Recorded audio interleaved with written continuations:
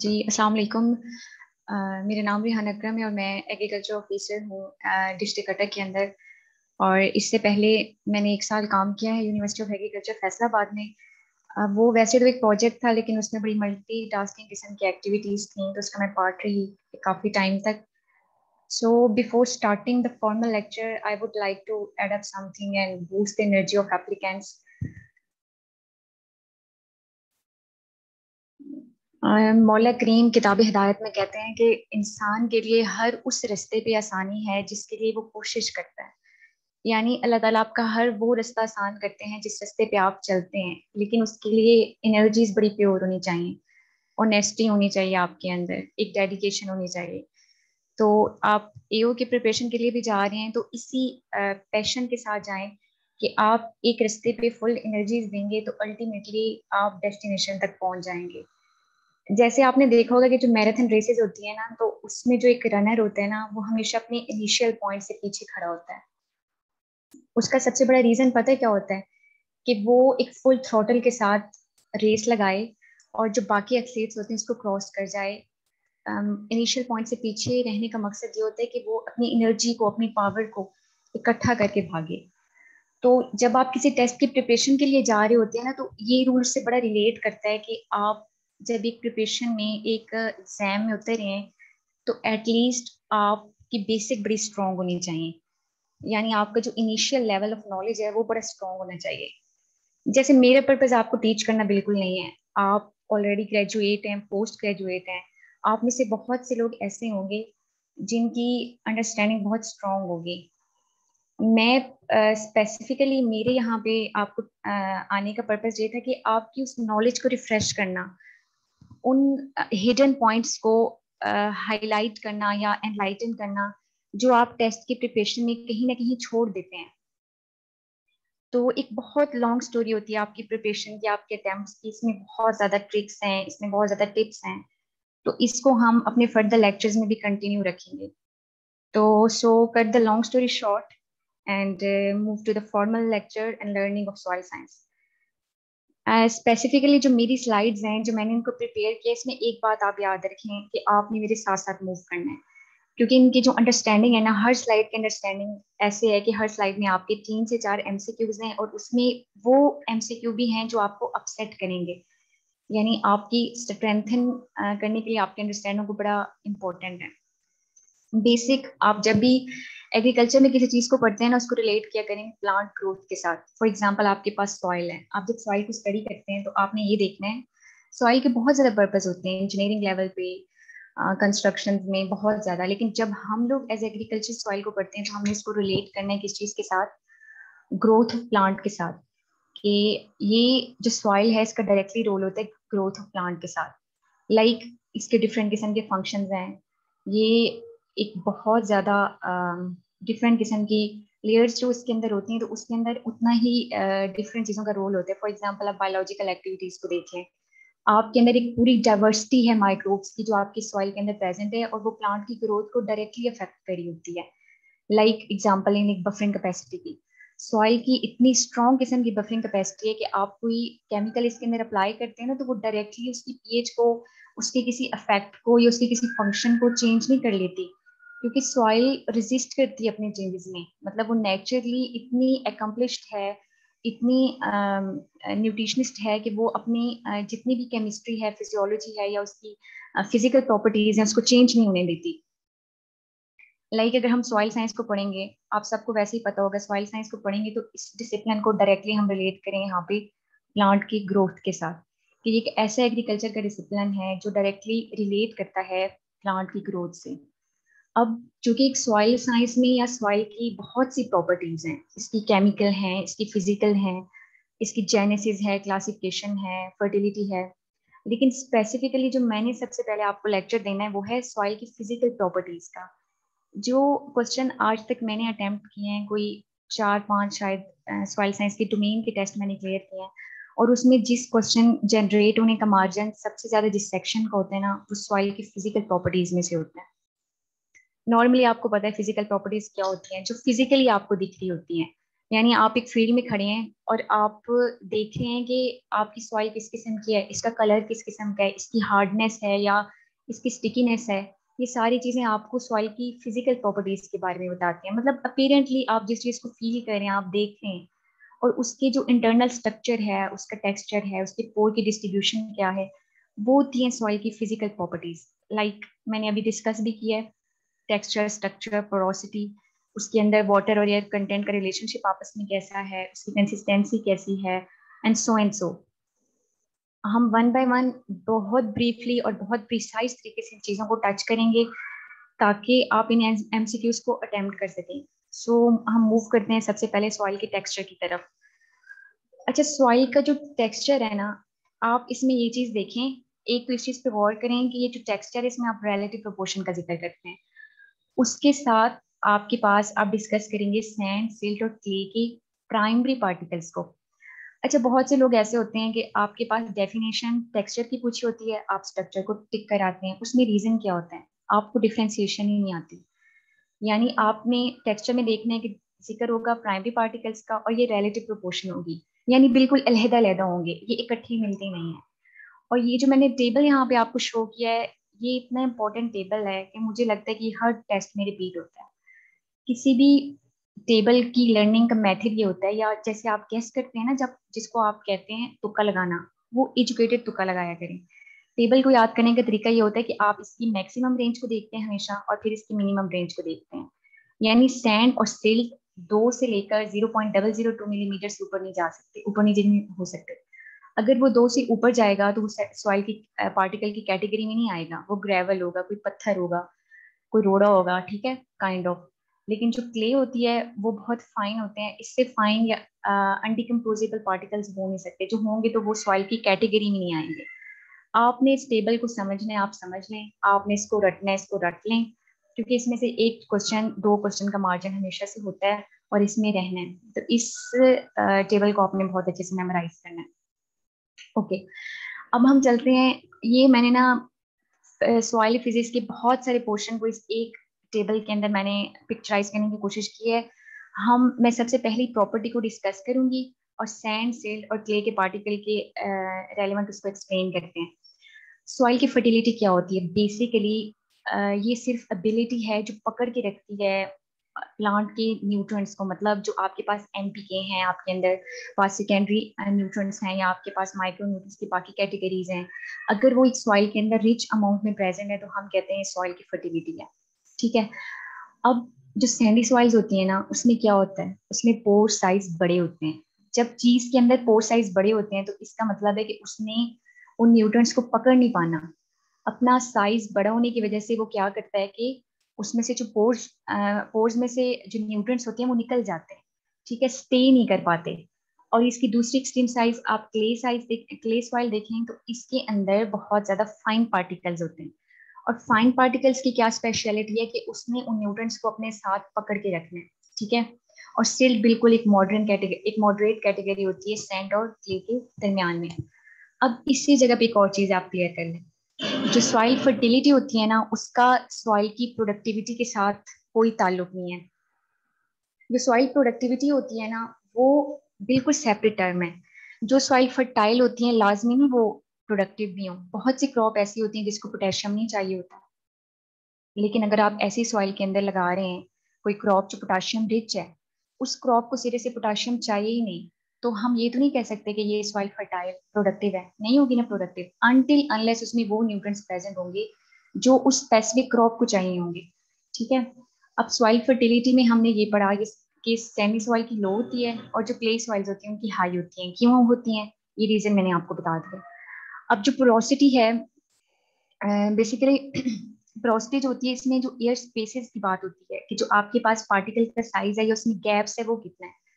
Sand के particle में ज़्यादा गैप होता है और जो क्ले के पार्टिकल्स होते हैं, इसमें गैप कम होता है। इसको बिल्कुल उसी लिहाज से हम डिफाइन करेंगे। नेक्स्ट हमारे पास यहाँ पे है परमेबिलिटी अच्छा यहाँ पे थोड़ा सा आप स्टे करें। जो परमेबिलिटी होती है और इनफिल्ट्रेशन होती है, उसका बड़ा क्लोज रिलेशनशिप है, जो बहुत से लोगों को नहीं पता होता। मुझे भी नहीं पता था, एक टाइम था। जो परमेबिलिटी होती है वो ये चीज़ होती है कि आपकी जो सॉइल है, उसकी क्या एबिलिटी है कि उसने वाटर को परमिट करना है अपने पोर्स में से गुजरने के लिए। यानी इसको हम ऐसे डिफाइन करेंगे कि एक मैयर है सॉइल की एबिलिटी की to permit water to flow through its pore ठीक है? यानी वो गुजरने कैसे देती है? लेकिन जो इनफिल्ट्रेशन होती है, वो बहुत डिफरेंट टर्म है। जैसे बारिश होती है ना तो पानी बाहर की तरफ़ से आ रहा है आपकी सरफेस के ऊपर। और वो बाहर की तरफ़ से आता है और फिर सॉइल की प्रोफ़ाइल के अंदर घुसता है। इसको हम इनफिल्ट्रेशन कहते हैं। लेकिन जो परमेबिलिटी होती है ना, वो आप within the soil pores जो मूवमेंट ऑफ़ द वाटर होती है ना, उसको आप कहते हैं, ये एक परमेबिलिटी है। ठीक है? अब परमेबिलिटी जो होगी, वो सैंडी सॉइल की हाई होगी। क्यों हाई होगी? क्योंकि इसके अंदर पोर्ट ज़्यादा होंगे तो इसका मतलब है पानी जिस रफ्तार से आएगा, पानी उसी रफ्तार से निकल जाएगा। जबकि जो क्ले सॉइल्स होती हैं उसमें क्या होता है कि जो पानी होता है वो जब आता है तो वो स्टे करते हैं अपने माइक्रोपोर्स में and its take lot of time to pass out from the pores ठीक है? लाइक like, ये बिल्कुल वही फिनमिना रिपीट हो रहा है। बिल्कुल इसको रिलेट करेंगे वाटर होल्डिंग कैपेसिटी के साथ कि ये एबिलिटी है जो होल्ड करता है against the force of gravity ठीक है? ये बिल्कुल लो होगी सैंडी सॉइल की। इस वजह से कि जिस तरह सैंडी सॉइल अपने न्यूट्रिएंट्स को होल्ड नहीं कर सकती बिल्कुल उसी तरह वो वाटर को भी होल्ड नहीं कर सकती ठीक है? तो ये दोनों जो एक्सट्रीम पॉइंट है इनके लो होते हैं और जो क्ले सॉइल्स होते हैं, उनके हाई होते हैं। अब जो ये जो नेक्स्ट टेबल है ना, इसको बिल्कुल सेम लाइन के ऊपर मैंने रिवाइज किया है। इसमें सिर्फ़ एक चीज़ की एडिशन की है वाटर इन्फिल्ट्रेशन की, जो सैंडी सॉइल की बड़ी अमेजिंग होती है और फिर एरेशन है, जो सैंडी सॉइल की अमेजिंग होती है। इस वजह से अमेजिंग होती है कि साइज़ बड़ा है, वही फिनामिना इनका साइज़ बड़ा है तो एरेशन अच्छी होगी और वाटर इन्फिल्ट्रेशन भी अच्छी होगी। बाकी ये तीनों पॉइंट्स बिल्कुल सेम होंगे जैसे पहले हैं। यहाँ पे मैंने एक और चीज़ ऐड की है वो है लोम अच्छा लोम ऐसा टेक्सचर है आपके पास सॉइल का जिसके अंदर आइडियल कंपोजिशन होती है सैंड सिल्ट और क्ले की जो किसी भी क्रॉप को आ, उसकी ग्रो करने के लिए प्लांट की ग्रोथ को इम्प्रूव करने के लिए चाहिए होती है। अगर कोई भी क्वेश्चन को ऐसा आता है जिसमें लोम का ज़िक्र होता है कि which one is the ideal soil तो आपने उसमें लोम को टिक करना है क्योंकि यहाँ भी देख लें एक मीडियम रेंज है यहाँ पे। सिल्ट तो एक से पार्टिकल है ना तो लोम में ये तीनों पार्टिकल की आइडियल कंपोजिशन होती है। हम अब एक नेक्स्ट चीज़ की तरफ़ बढ़ते हैं, ये है डिटर्मिनेशन एक चीज़ आप लोगों ने बड़ी क्लियर रखनी है कि जब आप लोग किसी भी चीज़ या किसी फिनामने को पढ़ते हैं किसी टेक्नोलॉजी को पढ़ते हैं या किसी भी प्रोसेस को पढ़ते हैं, हमेशा याद रखें कि उसकी डिटर्मिनेशन के बारे में ज़रूर पढ़ना पढ़ा करें कि इसको डिटर्मिन करने के क्या वे आउट है। फॉर एग्ज़ाम्पल जो हम टेक्सचर की बात कर रहे हैं ना, इसमें हमारे पास दो प्रोसेस होते हैं। एक को हम हाइड्रोमीटर मेथड कहते हैं और एक को हम फील मेथड कहते हैं। हाइड्रोमीटर मेथड जो है ना, ये आपके वन वन कोर्स के प्रैक्टिकल का पार्ट भी रहता है हमेशा। इस प्रोसेस को मैं बिल्कुल ज़्यादा एक्सप्लेन नहीं करूँगी क्योंकि अगर आएगा तो सिर्फ़ जस्टिस का नेम आ जाएगा। ये इसके अंदर दो तीन बातें पूछ लेते हैं। फॉर एग्ज़ाम्पल हाइड्रोमीटर आप इसको नोट कर लें, क्योंकि मैंने स्लाइड में ऐड नहीं किया हुआ, कि जो हाइड्रोमीटर मेथड है, इसकी बेस कौन सा ला है? इसकी जो बेस है ना, वो स्टोक्स ला होता है, जिसमें रेडियस और वेलोसिटी की रिलेशनशिप को हम पढ़ते हैं, ठीक है? स्टोक्स ला उसका नेम होता है। इसका फिनामिना बहुत सिंपल होता है, जो एक सॉइल होती है ना, उसके अंदर सैंड सिल्ट और क्ले के पार्टिकल्स हैं। इस हाइड्रोमीटर मेथड के अंदर हम लोग क्या करते हैं कि इनके जो पार्टिकल्स एग्रीगेटेड होते हैं, उसको हम डिस्पर्स कर देते हैं, ठीक है? और उसकी डिस्पर्शन के लिए हम यूज़ करते हैं सोडियम हेक्सा मेटाफॉस्फेट वो पार्टिकल अलहदा हो जाते हैं, फिर हम सेटलिंग देखते हैं कि कौन सा पार्टिकल पहले नीचे बैठता है। जैसे सैंड सबसे बड़े पार्टिकल होते हैं तो वो बैठेगी, फिर सिल्ट बैठेगी मतलब सिल्ट के पार्टिकल्स होंगे, फिर आपके पास क्ले के पार्टिकल्स होंगे।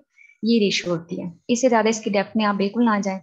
और जब हम लोग सैंड सिल्ट और क्ले को डिटर्मिन कर लेते हैं इस मेथड से तो यहाँ आ जाए।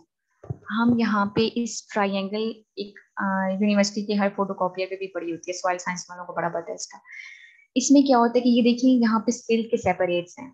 सिल्क के सेपरेट्स को हम क्ले के अगेंस्ट ड्रा करते हैं और क्ले के सेपरेट्स को हम यहाँ पे सैंड के अगेंस्ट ड्रा करते हैं और सैंड के जो सेपरेट्स होते हैं उसको हम सिल्क के अगेंस्ट ड्रा करते हैं। जब ये ऐसे करके ड्रा करने का साइकिल बनता है तो इसमें जो एक इंटरसेक्शन का पॉइंट आता है ना, जहाँ पे तीनों आपके पास पार्टिकल आपस में मिल रहे होते हैं तो हम कहते हैं कि ये सॉइल का टेक्सचर भी वाला है, ठीक है? यहाँ पे टोटल बारह किस्म के सॉइल के टेक्सचर होते हैं। या आपके खुद असाइनमेंट है कि एक दफ़ा आपने इनको देख लेने के कौन कौन से हैं। सेकेंड जो हमारे पास मैथड यूज़ होता है ना फील मैथड होता है।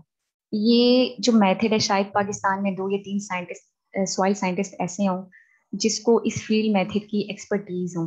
फ़ील्ड मेथड में क्या होता है? सिंपल ये होता है कि एक साइंटिस्ट है, वो फ़ील्ड में जाता है और वो हाथ में सॉइल को पकड़ता है और वो पकड़ के उसको एग्जैक्ट टेक्सचर बता देता है कि ये इस टेक्सचर की सॉइल है। ठीक है? तो वैसे ये बहुत कम होता है, लेकिन मैं ब्रीफ से आपको बता देती हूँ कि अगर आप सैंड को हाथ लगाते हैं ना तो वो एक ग्रिटी सी अपीरेंस देती है। और जिस तरह अगर लोम को इसके कंपेरिजन में हाथ लगाएँगे तो वो बहुत कम ग्रिटी होती है। और जो सिल्टी सॉइल होती है सिल्टी लोमी सॉइल होती है वो आटे की तरह होती है बिल्कुल फ्लोरी सी। और जो क्ले लोम सॉइल्स होती है वो बहुत हार्श होती है या कहें कि उसके अंदर स्टिकीनेस बहुत ज़्यादा होती है। और अगर इसके सिग्निफिकेंस में मैंने ये चीज़ एक ऐड की हुई है ये थोड़ी सी आ, सोचने वाली बात है कि आप देखेंगे सैंडी सॉइल के अंदर टिलेज की प्रैक्टिस करना ईजी होंगे या क्ले सॉइल के अंदर इजी होंगे। इसमें सिंपल ये होता है कि जो क्ले सॉइल्स होती है ना, वो बड़ी खुरखुरी सी होती है। मैंने अभी बोला कि वो ग्रिटी से होती है। जब आप उसमें कोई एम बी प्लो चलाते हैं, कोई हल चलाते हैं, वो बड़े आसानी से गुजर जाती है उसमें से। उनको प्रॉब्लम नहीं होती। कंपेयर कंपेरिजन में जब आप एक स्टिकी सॉइल के अंदर से गुजारते हैं, एक क्ले सॉइल के अंदर से गुजारते हैं तो वहाँ पे किसी भी किस्म की मैकेनिकल प्रैक्टिस करना बहुत टफ होता है। ठीक है? अब हम चलते हैं सॉइल के स्ट्रक्चर की तरफ़। ठीक है, जो सॉइल का स्ट्रक्चर होता है, अब पहले मैंने आपको ये बात भी नोटिस करवाया था कि जो प्राइमरी पार्टिकल का ज़िक्र आता है तो वो उसका टेक्सचर होता है। जो प्राइमरी से आप सेकेंडरी की तरफ़ जाते हैं, उनकी एग्रीगेशन होती है क्लस्टरिंग होती है तो उसको हम सिंपली कहते हैं ये सॉइल का स्ट्रक्चर है। ठीक है? जो सॉइल का स्ट्रक्चर होता है ना, उसके अंदर बहुत सारे स्ट्रक्चर एग्जिस्ट करते हैं, जैसा कि मैंने यहाँ पे दिखाई हुए आपको ये ग्रेनुलर्स हैं, ये ब्लॉकी हैं prismatic single grain platy and columnar इनकी बिल्कुल ऐसी शेप होती है। कभी आप ऑब्ज़र्व करें ना किसी ऐसे इलाज में जहाँ पे सॉइल प्रोफ़ाइल बड़ी प्रोमिनेंट होती है तो वहाँ पे आपको इन चीज़ों का पता चलेगा। लेकिन इनकी डेप्थ में बिल्कुल भी नहीं जाना। मैं बहुत सिंपल से इनका बता देती हूँ आपको कि ग्रेनुलर बिल्कुल ग्रेन की तरह होते हैं।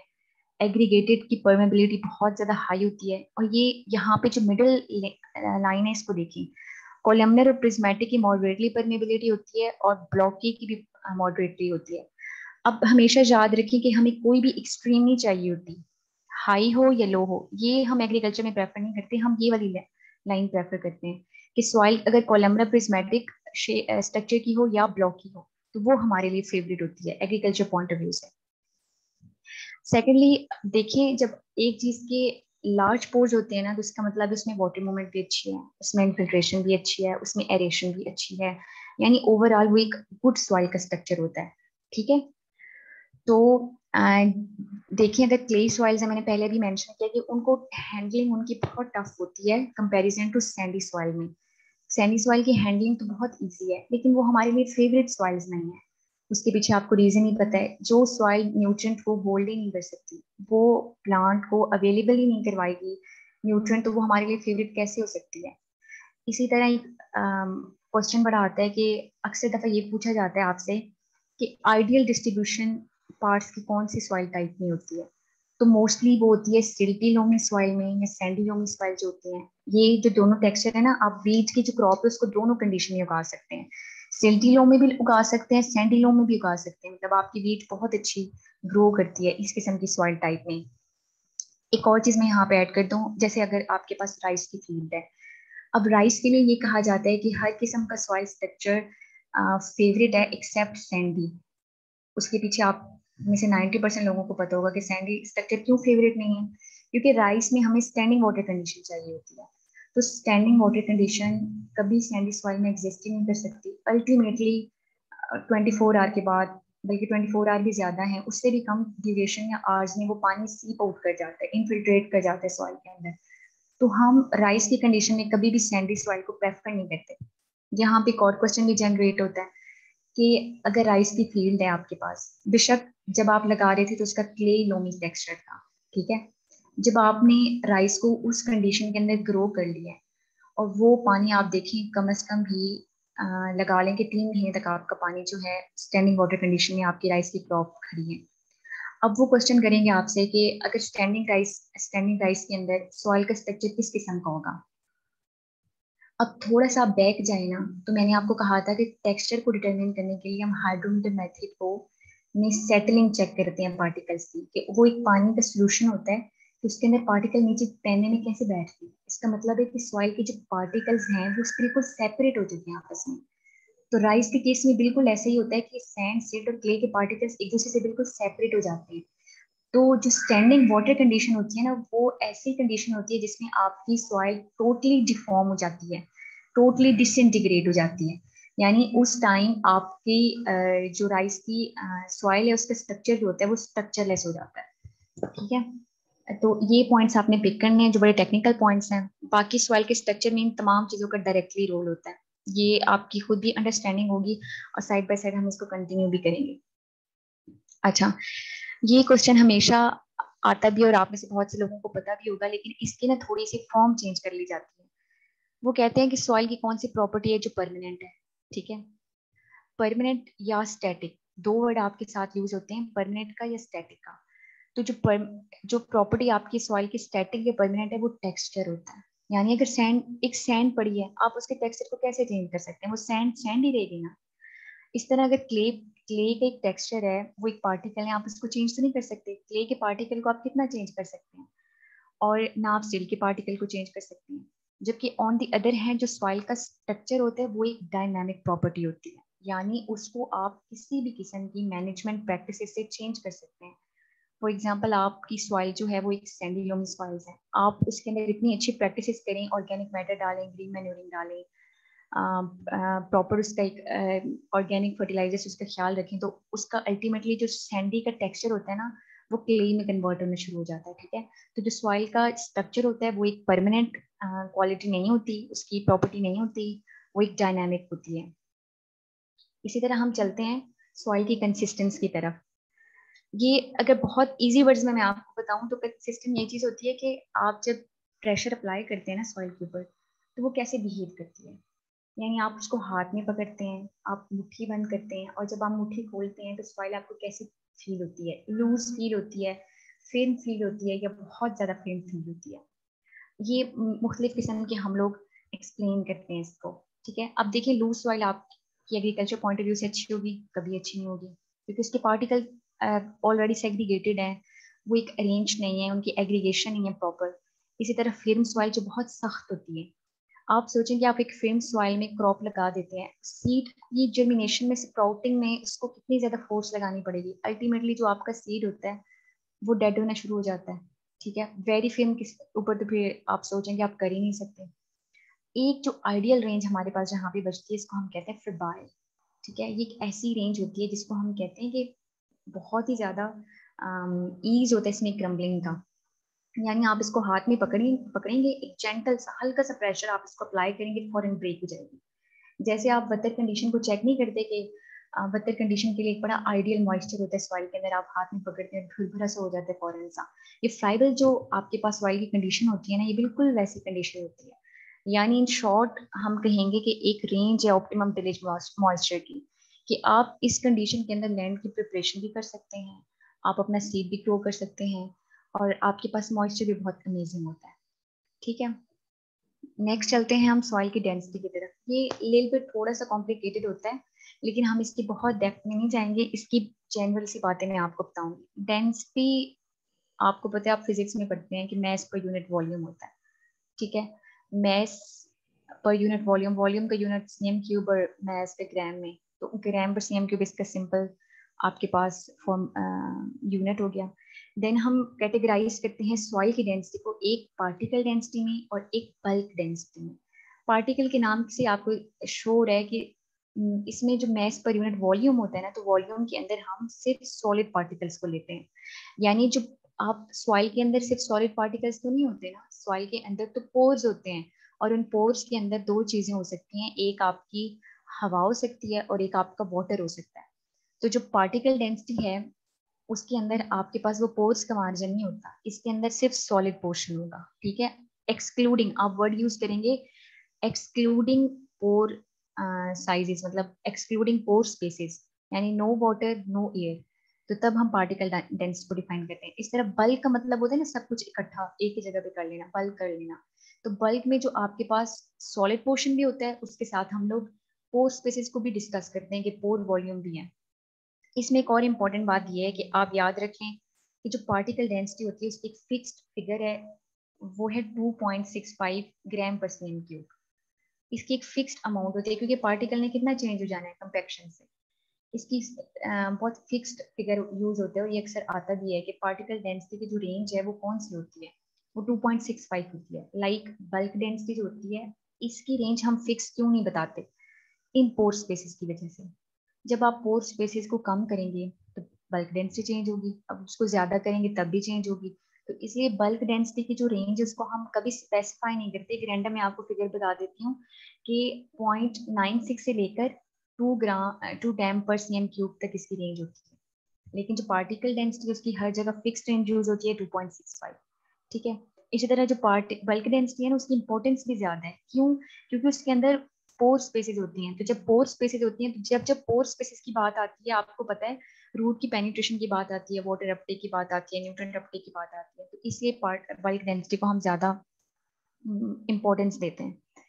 अब नेक्स्ट हमारे पास होता है पोर स्पेस ये वैसे बिल्कुल वही कॉन्सेप्ट है जो मैं ऑलरेडी डिस्कस कर चुकी हूँ। इसमें बस एक चीज़ ऐड करनी है। पहले हम कर रहे थे पार्टिकल्स को कि सैंड के पार्टिकल का साइज़ ज़्यादा होता है। अब हमने ये बात करनी है कि उन पार्टिकल के दरमियान में होती क्या चीज़ है? ये ये जो आपके प्लांट्स के अंदर रेस्पिरेशन का प्रोसेस होता है ना, या जो गैसेस की एक्सचेंज होती है, ये इन्हीं पोर्स की वजह से होती है। तो ये जो पोर्स होते हैं ना, इसमें वाटर और एयर की कंसनट्रेशन होती है। तो समटाइम ऐसा होता है कि वाटर जब ज़्यादा हो जाता है तो एयर स्पेस जगह कम बच जाती है। देखें, जब एयर कम होगी तो सफोकेशन ज़्यादा होगी, जैसे राइस की फ़ील्ड में होती है। जब एक ऑप्टिमम रेंज होगी तो इसका मतलब आपका प्लांट भी हैप्पी है। उसको वाटर भी मिल रहा है, उसको प्रॉपर अमाउंट में एयर भी मिल रही है। लेकिन समटाइम ऐसा होता है कि जो वाटर होता है वो ज़्यादा हो जाती है एयर कम हो जाता है कम हो जाती है इस तरह का रिलेशनशिप होता है। तो ये पोस्ट स्पेसिस को आपने इस चीज़ इन दो चीज़ों के साथ रिलेट करना है कि जो पोस्ट स्पेसिस होती हैं उसमें एयर एंड वाटर के कंटेंट होते हैं ठीक है? आ, ये देखें इसमें सैंड जो है उसमें लार्ज पार्टिकल्स होते हैं इसका मतलब है उसके अंदर जो पोर साइज़ होता है या एयर स्पेस होती है वो भी बड़ी होती है। जबकि सील तो वैसे एक आइडियल कंडीशन है उसमें हर चीज़ होती है बड़ी आइडियल अमाउंट में होती है। जबकि क्ले जो होते हैं उसमें बहुत स्मॉल बहुत फाइन पार्टिकल्स होते हैं उसमें हर चीज़ की मूवमेंट बहुत टफ होती है। एक ना दो कुछ क्वेश्चन के मार्जिन ऐसा होता है कि वो सॉइल की एरेशन की अबाउट आता है। सॉइल जो होती है हमेशा वो एरेटेड होती है। मतलब जो ज़मीन के नीचे आपकी रूट्स हैं उनकी एरेशन हो, हो रही होती है आपकी अपवर्ड एटमॉस्फेयर की अपवर्ड एटमॉस्फेयर की गैसेस के साथ। और ये कॉन्टिन्यूस प्रोसेस होता है जो हमेशा रहता है। अब देखें जो सॉइल कंपेक्टेड होगी उसके अंदर पोर्स कम है तो उसकी एरेशन कितनी हार्ड हार्ड होगी? मतलब प्लांट हमेशा बहुत ज़्यादा सफ़र कर रहा होगा उस कंडीशन में। लेकिन अगर आपके पास एक आइडियल कंडीशन होती है, एक एडिशन प्रॉपर हो रही होती है तो इसका मतलब है आपका प्लांट जो है वो हेल्दी होता है। और हमेशा आफ्टर एरेशन जो रूट्स की प्लोरिफिकेशन होती है, वो बहुत हाई होती है, जैसे इन्होंने दिखाया हुआ है यहाँ पे। एक यहाँ पे टर्म आती है ऑक्सीजन डिफ्यूजन रेट की। और वो टर्म बड़ी रिपीट होती है। ऑक्सीजन डिफ्यूजन रेट बेसिकली ये होता है कि आपकी जो ऑक्सीजन होती है, वो एटमोसफियर ऑक्सीजन से किस रेट के साथ एक्सचेंज हो रही है, उसको हम कहते हैं ऑक्सीजन डिफ्यूजन रेट यानी आपकी जो सॉइल है, अगर उसके अंदर कार्बन डाइऑक्साइड की कंसेंट्रेशन ज़्यादा है तो डेफिनेटली आपका प्लांट सफ़र करेगा. तो ये जो एक्सचेंज होती है, ये सॉइल की एयर की एटमॉस्फेयर एयर से एक्सचेंज होती है, ये नॉर्मल सॉइल के लिए बड़ी हेल्पफुल होती है. अब नेक्स्ट हम एक पोर्शन स्टार्ट करेंगे. ये है सॉइल के कलर का। ये ऐसी प्रॉपर्टी है सॉइल की जिसको बहुत कम डिस्कस किया जाता है। इसका वैसे इफ़ेक्ट भी ओवरऑल प्लांट की ग्रोथ के ऊपर बहुत कम होता है। मैं एक नॉर्मल से आपको रेंज बता दूँ कि जब आप जा रहे होते हैं और आप देखते हैं कि सॉइल का कलर बहुत डार्क होता है तो डार्क कलर का मतलब ये होता है कि इसमें ऑर्गेनिक मैटर बहुत ज़्यादा है। यानी इसमें कोई ना कोई ऑर्गेनिक कंपाउंड्स डाले हुए हैं, ठीक है? एक और रीज़न भी हो सकता है डार्क कलर का। एक मैग्नेटाइट किस्म की मिनरल्स होती हैं या मैग्नीशियम कंटेनिंग कंपाउंड्स होते हैं। वो इनऑर्गेनिक फॉर्म में होते हैं। और वो भी जब सॉइल के अंदर प्रेजेंट होते हैं तो उनकी वजह से भी जो सॉइल का कलर होता है वो बहुत ज़्यादा डार्क होता है। लाइक like, अगर आप मॉइस्ट सॉइल्स में से गुजर रहे हैं तो वो डार्क होंगी। जब आप एक ड्राई सॉइल में से गुजरते हैं तो वो लाइट होंगी। और मुख्तलिफ़ किस्म के जो आप प्रैक्टिकल्स करते हैं ना तो उसमें हम जो एयर ड्राई वेट लेते हैं या फिर फ़ील्ड कैपेसिटी के वेट लेते हैं कि मतलब उस फ़ील्ड कैपेसिटी का जब मॉइस्चर लेवल होता है तो उस पर हम वे करते हैं सॉइल को। उसका रीज़न ही आपका सॉइल कलर होता है। कि हम सॉइल कलर की बेसिस पे वो ले रहे होते हैं कि सॉइल का कलर इस टाइम डार्क था, इस टाइम सॉइल का कलर जो था वो लाइट था। तो हम उस बेसिस के ऊपर अपना ड्राई वेट और मॉइस्ट वेट ले रहे होते हैं।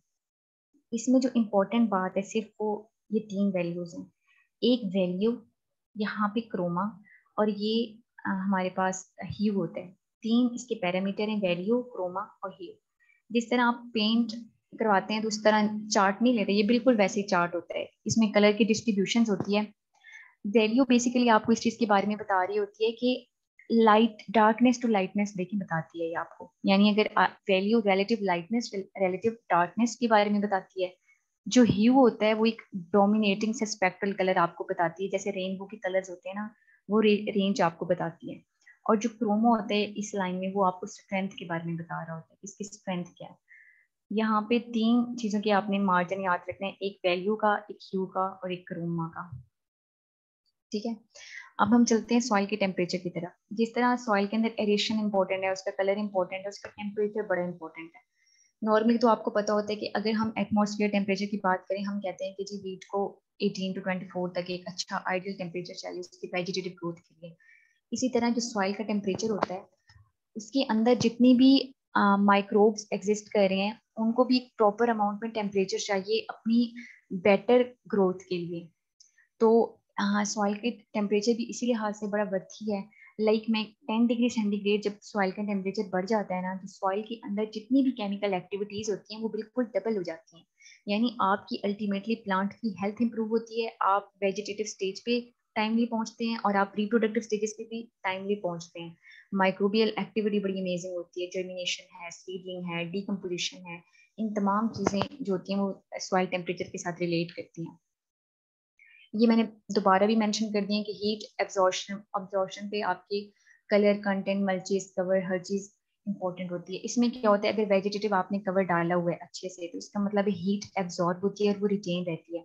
ये ना ठंडे इलाकों में प्रैक्टिस ज़्यादा की जाती हैं, ताकि वो मैक्सिमम हीट को एब्जॉर्ब कर सकें। इन सब में से देखिए, एक इंपॉर्टेंट फैक्टर सॉइल की स्लोप है। जैसे सूरज की शुआएँ ऐसी होती हैं कुछ, जो नॉर्दर्न हेमिस्फीयर के ऊपर जो है वो ज़्यादा पड़ी हैं साउदर्न के ऊपर कम पड़ी हैं। तो फिर क्या होता है कि जिनके ऊपर वो ज़्यादा पड़ती हैं वो हीट ज़्यादा एब्जॉर्ब कर पाते हैं जिन पे कम पड़ती हैं वो हीट को एब्जॉर्ब नहीं कर पाते। तो इसके पीछे ये वाला फिनमिना एग्जिस्ट करता है। अच्छा एक यहाँ पे क्वेश्चंस uh, मैंने अक्सर देखे कि कौन सी सॉइल्स ऐसी होती हैं जो बहुत जल्दी गर्म हो जाती हैं और फिर वो ठंडी भी बहुत देर से होती हैं। या और एक दूसरी सॉइल्स हैं जो गर्म भी जल्दी होंगी और ठंडी भी जल्दी होंगी। कभी आपने देखा है कि आप किसी डेजर्ट से गुजरे होते हैं या डेजर्ट एरियाज़ में लोग रहते हैं तो रात को वो ठंडी क्यों हो जाती है? क्योंकि वहाँ पे जो सॉइल का टेक्सचर होता है ना वो सैंडी होता है। जब आपके पास सॉइल का स्ट्रक्चर सैंडी होता है तो इसका मतलब वहाँ पे एरेशन बहुत अच्छी है पोर साइज़ की वजह से। जब एरेशन अच्छी होती है तो वो आ, बहुत जल्दी आ, हवा गुजरती है और जितनी जल्दी आ, वो गर्म हुई थी उतनी ही जल्दी वो ठंडी हो जाती है। तो जो क्ले सॉइल्स होती हैं उसके अदर हैंड वो वार्म अप भी काफ़ी देर से होती हैं और वो चूँकि पोर साइज़ इतना कम होता है वाटर भी होता है तो बहुत it takes lot of time to cool down तो क्ले सॉइल जो होती हैं, वो एक लॉन्ग टाइम रहती हैं वार्म अप पे भी और कूल होने में भी तो इसके बाद जो सॉइल फिजिक्स का सेक्शन है ना हमारे पास, वो कंप्लीट होता है. तो आपने ऐसा करना है कि सेक्शन के जितने भी मेजर की पॉइंट्स हैं टेक्निकल आंसर बनते हैं, वो आपने प्रिपेयर करनी इसको एक दफ़ा गो थ्रू करना है और जो भी कंफ्यूजन होंगी, वो आपकी क्लियर कर देंगे at the end of the lecture now I want to hand over this lecture to sir Sadur Rahman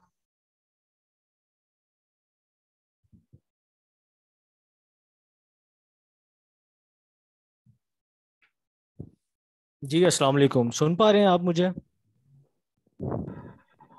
ji sir, आप आर्टिबल हैं प्लीज़ कंटिन्यू अच्छा जी, मेरा नाम साधु रहमान है। ओरिएंटेशन सेशन में हमारा तारुफ हो चुका है। तो जो लोग अगर मौजूद नहीं थे तो मैं उन्हें बता दूँ, मैं इस वक्त एग्रीकल्चर एक्सटेंशन डिपार्टमेंट में बतौर एग्रीकल्चर ऑफिसर सर्व कर रहा हूँ। माजी में मैंने ज़रूरी तरक्याती bank P S D F और जियो न्यूज़ ग्रुप के साथ मुख्तलिफ़ पर काम किया है। स्कूल ऑफ़ एग्रीकल्चर में हमारा साथ एग्रोनॉमी और जनरल नॉलेज के कंसल्टेंट के तौर पे होगा। सब्जेक्ट की तरफ़ जाने से पहले कुछ चीज़ें हैं, हम वो डिस्कस कर लेते हैं। पहली बात तो ये कि एग्रोनॉमी पढ़ना हमारे लिए और ये सेशन अटेंड करना क्यों ज़रूरी है? ऐसा है कि एग्रोनॉमी तमाम ब्रांचेस की माँ है, ठीक है? यानी हम जितने भी सब्जेक्ट्स पढ़ेंगे, ये हमारी एग्रोनॉमी उन सब के साथ ओवरलैप करती है, चाहे वो सॉइल साइंस हो क्रॉप प्रोडक्शन हो प्लांट ब्रीडिंग हो या हॉर्टिकल्चर हो। अगर बेसिक्स हमारी एग्रोनॉमी की क्लियर नहीं होंगी तो बाकी सब्जेक्ट्स को समझना हमारे लिए काफ़ी मुश्किल हो जाता है। दूसरी इसकी वजह यह है कि पीपीएससी में अगर हम पास्ट पेपर्स का मुताल करें तो सबसे ज़्यादा एग्रोनॉमी का पोर्शन आता है, जो तकरीबन तीस परसेंट तक है। यानी अगर हम मेरिट में आना चाहते हैं तो हमारे लिए एग्रोनॉमी पे कमांड होना बहुत ज़रूरी है। ये तो थी एग्रोनॉमी की अहमियत के हवाले से, ताकि आप लोगों का जहन बन जाए क्लियर हो आप इस मुतलिक दो और बातें मैं आपसे शेयर करना चाहूँगा। वो ये कि एक सवाल अक्सर होता है कि तमाम डाटा इंटरनेट पे हमें अवेलेबल है, ज़ाहिर है बुक्स भी हैं आपके पास, हम भी स्टडी मटेरियल आपसे शेयर कर करते हैं। तो ये सेशन अटेंड करना क्यों ज़रूरी है? देखें ऐसा है कि बुक में से कोई टॉपिक पढ़ना, फिर उसे याद रखना हर किसी के बस की बात नहीं है। ये काफ़ी वक्त, तलब और बोरिंग काम है। खासकर जब आप कई सब्जेक्ट्स पढ़ रहे हो तो ये बहुत कंफ्यूजिंग हो जाता है। स्कूल ऑफ़ एग्रीकल्चर इसी मसले के हल के लिए, इस मसले से निमटने के लिए ही हम ऑर्गेनाइज और सिस्टमेटिक अंदाज में टॉपिक्स को लेके चलेंगे। और ख़ासकर अगर मैं एग्रोनॉमी की बात करूँ तो हल्के फुल्के अंदाज से हम टॉपिक्स को स्टडी करेंगे, अपनी कहानी बनाएँगे, अल्फाज को रिलेट करेंगे पीपीएससी की सोच को पकड़ेंगे और एट दी एंड वो टॉपिक हमें बिल्कुल मेमोराइज हो जाएँगे। इस तरह से कि हमें बर्डन भी मालूम नहीं होगा उसका। ठीक है? तो अगर इसके बावजूद भी कोई कन्फ्यूज़न आपको होती है और कन्फ्यूज़न यकीनन होती है क्योंकि जहाँ साढ़े चार सौ लोग मौजूद होते हैं, यानी वहाँ पे साढ़े चार सौ ब्रेन्स मौजूद हैं। तो हर किसी की अपनी सोच है, कोई इन डेप्थ पढ़ना चाहता है, कोई सरसरी ओवरव्यू से चाहता है, और कोई ऐसे भी हैं जो पढ़ना नहीं चाहते। मैं उन लोगों की बात कर रहा हूँ जो स्टडी का डाटा ज़्यादा से ज़्यादा कलेक्ट करने में टाइम लगाते हैं। हमें भी क्यूरीज आ रही होती हैं कि प्रेजेंटेशन वगैरह शेयर कर दें। और इतना डाटा इकट्ठे करने के बाद वो परेशान होके बैठे होते हैं कि कहाँ से पढ़ें और क्या छोड़ें। तो उससे भी हमने इश्तराब करना है। वक्ता फ़क्ता ये चीज़ें हम डिस्कस करते रहेंगे लेक्चर्स के साथ साथ। ये कुछ चीज़ें इसलिए मैंने डिस्कस कर ली क्योंकि सेशन के शुरू में ये चीज़ें क्लियर होना ज़रूरी है। अगले एक हफ़्ते तक हमारा साथ रहेगा, ये चीज़ें क्लियर होंगी तो एक दूसरे को समझना हमारे लिए आसान होगा। आपसे बस दो चीज़ें हमें चाहिए। एक ये कि क्लास में हाजिरी को यकीनी बनाएँ। बाकी आपको जगाए रखना वो हमारा काम है। फीडबैक ज़रूर दें, क्योंकि इसी को मद्देनज़र रखते हुए हमें अंदाज़ा होता है कैंडिडेट्स के रुझान का। इसी के मुताबिक हम टीचिंग स्ट्रेटजी तैयार करते हैं। और ये हमारे लिए बड़ा एक हौसला अफजा भी होता है। बाकी डाटा वगैरह की टेंशन आपने नहीं लेनी। हम प्रेजेंटेशन आपसे शेयर करेंगे डाटा प्रोवाइड कर भी रहे हैं और करते भी रहेंगे। इसके बावजूद भी अगर कोई उलझन रह जाती है तो क्लास के एंड में भी आप सवाल कर सकते हैं। फिर भी अगर कन्फ्यूज़न दूर नहीं होती तो ग्रुप में आप मसला शेयर कर सकते हैं। अगर फिर भी आप समझते हैं कि आपका कोई जैनवन इशू है तो आप पर्सनली भी मैसेज कर सकते हैं, लेकिन ये आपकी लास्ट प्रायोरिटी होनी चाहिए। चले, बातें बहुत हो गई। अब हम फार्मल स्टडी की तरफ़ आते हैं। तो आउटलाइन जो हमारी आज की है, वो है बेसिक डेफिनेशन हम देखेंगे कुछ।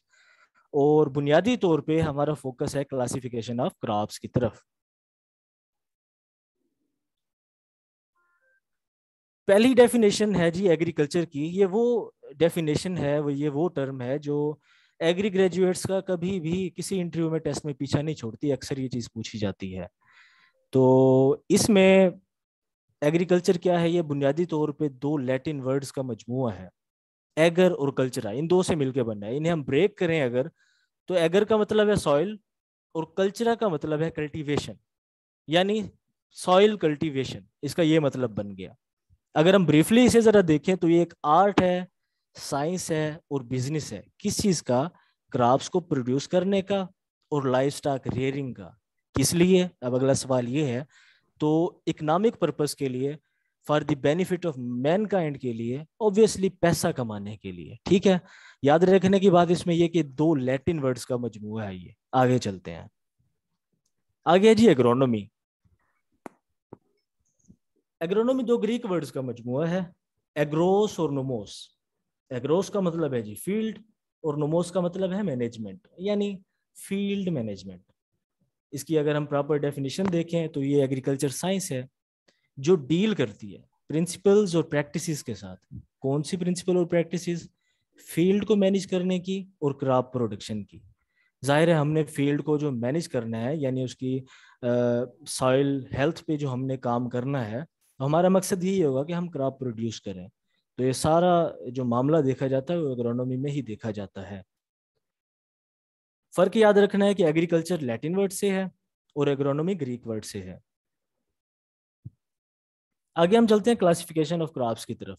पहली बात यह कि क्रॉप क्या है? क्रॉप एक जैसे प्लांट्स का मजमुआ है जो एक ही जगह पे लगाए जाते हैं। किस मकसद के लिए? हम पहले देख चुके हैं कि बेनिफिट ऑफ़ मैनकाइंड के लिए और ज़ाहिर है पैसा कमाने के लिए। अब इनकी क्लासिफिकेशन क्यों ज़रूरी है?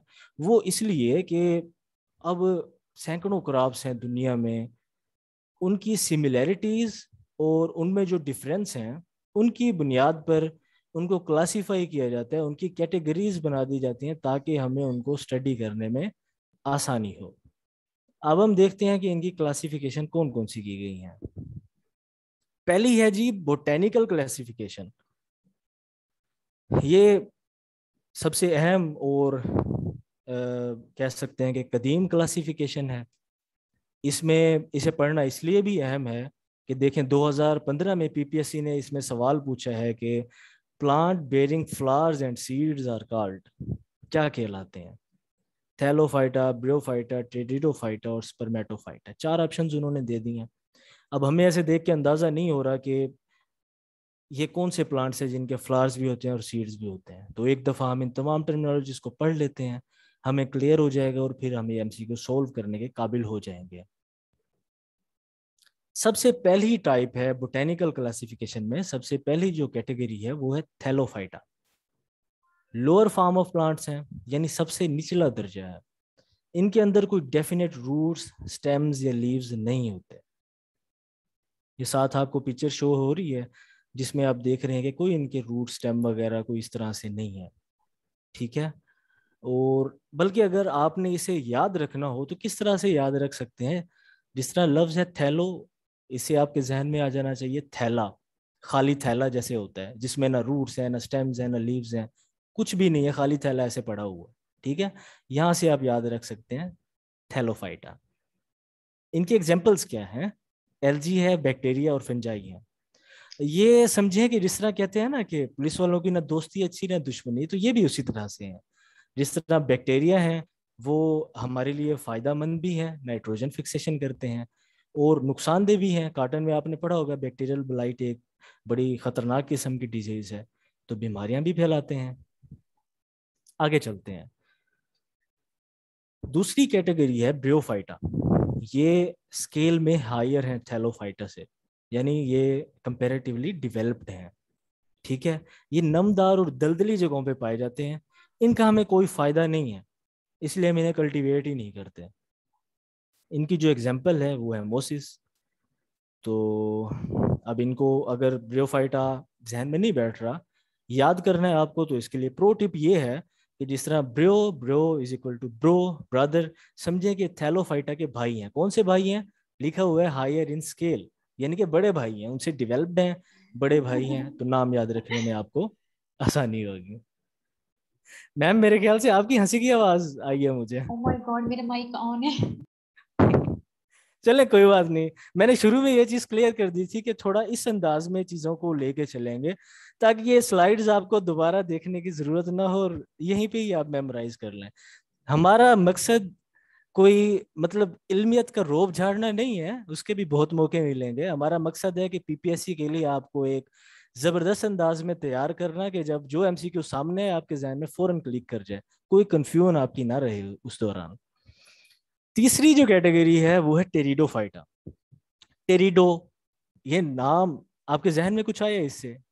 टेरी आ जाना चाहिए आपके जहन में। तो बिल्कुल उसी तरह से ये कैटेगरी है। ग्रीन प्लांट्स हैं। इनमें वास्कुलर टिश्यूज भी हैं रूट्स भी हैं लीव्स भी हैं स्टेम्स भी हैं, ठीक है? यानी एक ट्री का ना थोड़ा आपके जहन में थोड़ा थोड़ा आ जाना चाहिए इसके नाम से। लेकिन ये है कि इनके अंदर फ्लावर्स और सीड्स नहीं होते। अब जी फ्लावर्स और सीड्स नहीं है तो ये रिप्रोडक्शन किस तरह से करते हैं? तो ये रिप्रोड्यूस करते हैं स्पोर्स के ज़रिए।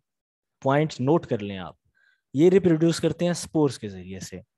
और इनकी जो एग्जाम्पल्स हैं, वो हैं फर्न्स और सिलोफाइट्स और एक और चीज़, इन्हें हम कल्टीवेट नहीं करते. एग्रोनोमिकली कल्टीवेट नहीं करते हम इन्हें. ये है कि ऑर्नामेंटल्स के तौर पे हम इन्हें लगाते हैं, जैसे फर्न्स हैं. ठीक हो गया? आगे जी स्पर्मेटोफाइटा बहुत अहम कैटेगरी है ये. क्यों है अभी हमें पता चल जाएगा. ये हाईली डिवेलप्ड फॉर्म है प्लांट्स की. ठीक है? ये बाकी चीज़ें तो इनमें है ही हैं। वेस्कुलर टिश्यूज हैं लीव्स हैं रूट्स हैं, सब कुछ है। इसके साथ साथ इनमें सीड भी है और ट्रू फ्रूट्स भी हैं। इसलिए ये हाईली डेवलप्ड हैं। तो अब नाम याद रखने के लिए स्पर्मेटोफाइटा यानी इनमें स्पर्म्स हैं सीड्स हैं। प्लांट के सीड्स क्या प्लांट के स्पर्म्स क्या होते हैं? उनके सीड्स होते हैं, उनके स्पर्म्स जिससे वो अपनी जनरेशन बढ़ाते हैं। तो स्पर्मेटोफाइटा से आपके जहन में आ जाना चाहिए कि इन प्लांट्स के स्पर्म्स हैं, यानी सीड्स हैं इनके। बात खत्म यहाँ पे। तो इनकी आगे सब डिविजन्स हैं दो। जिम्नोस्पर्म्स हैं और एंजियोस्पर्म्स हैं। इन्हें हम देखते हैं। जिम्नोस्पर्म्स हैं जी, इनमें नेकेड सीड्स होते हैं। ठीक है? यानी नॉर्मली आप खाते हैं ना, सेब खाते हैं, तरबूज है, खरबूज है, कुछ भी खाते हैं, फ्रूट के अंदर एक बड़े ज़बरदस्त अंदाज में जो सीड्स हैं ऑर्गेनाइज होते हैं। जिम्नोस्पर्म्स में ऐसा नहीं होता। तो फिर ये सीड्स कहाँ पे होते हैं? ये सीड्स वैसे ही पत्तों पे या ब्रांचेस पे लगे होते हैं कोन्स की सूरत में। ठीक है? इन पौधों की जो एग्ज़ाम्पल है वो पाइन है फिर है, देवदार है। ठीक? ये बहुत महँगे और नायाब किस्म के पौधे होते हैं। याद कैसे रखना है इसे? अब याद रखने के लिए ज़ाहिर है, जो जवान जिम में जाते हैं, उन्हें पता है शॉर्ट ड्रेस में ही जाते हैं वो। नियर टू नेकेड ठीक है? तो आप जिम से याद कर सकते हैं कि इनमें नेकेड सीड है। क्लियर हो गया? आगे चलते हैं। एंजियोस्पर्म से। ये जी फ्लावरिंग प्लांट्स हैं। ज़ाहिर है इनमें फ्लावर बनते हैं, साथ फ्रूट बनते हैं, ठीक है? और इनमें जो सीड्स होते हैं, वो इनक्लोज होते हैं ओवरी के फ्रूट के अंदर ही। इनकी एग्जांपल्स हमारी जितनी एग्रोनॉमिक क्रॉप्स हैं, वो इसके एग्जांपल हैं। Wheat cotton rice maize barley ठीक है? अब एंजियोस्पर्म्स की भी आगे कैटेगरीज हैं। दो कैटेगरीज हैं। मोनोकाटिलेडन है और डाइकोटिलेडन है। मोनोकाटिलेडन क्या कहते हैं जी? ये मोनो मतलब एक कॉटिलेडन एक कॉटिलेडन जिसमें हो नाम से ही ज़ाहिर है। डाइकोटिलेडन जिसमें दो कॉटिलेडन हो कॉटिलेडन हम देख लेते हैं कि ये क्या है। ये देखें जी। ये आपकी राइट साइड पे जो है ये मोनोकाटिलेडन है और लेफ़्ट साइड पे ये डाइकॉट है डाइकोटिलेडन है। तो ये जो मेज का है सीड दिखाया गया है इसमें एक कॉटिलेडन है। जो साथ ही फली का बीन का दिखाया गया सीड इसमें दो कॉटिलेडन है। अब इनके फ़ंक्शंस वगैरह, बाकी जो पार्ट्स हैं, वो हम सीड साइंस में आगे पढ़ेंगे। अभी आपके समझने के लिए इतना काफ़ी है। इनके एग्जांपल्स क्या हैं? मोनोकाटिलेडन की एग्जांपल मेज वीट सारगम और बार्ले ठीक है? मेज वीट यानी हमारी मेजर क्रॉप्स हैं। साथ सारगम और बार्ले इन्हें हम चारे के तौर पे इस्तेमाल करते हैं। डाई कॉट्स में देखें तो काटन है हमारी मेजर क्रॉप है, साथ सोयाबीन और कैनोला, आयल सीड के तौर पे हम इन्हें इस्तेमाल करते हैं। इनमें मजीद क्या डिफरेंस है? हम कैसे इन्हें डिफ्रेंशिएट करेंगे? वो इस तरह से, कार्टिलेडन का हमने डिफरेंस देख लिया, जो बुनियादी फ़र्क है। इनके पत्तों का फ़र्क देखें। जो मोनो, मोनोकार्ट के जो पत्ते हैं, ये नैरो होते हैं।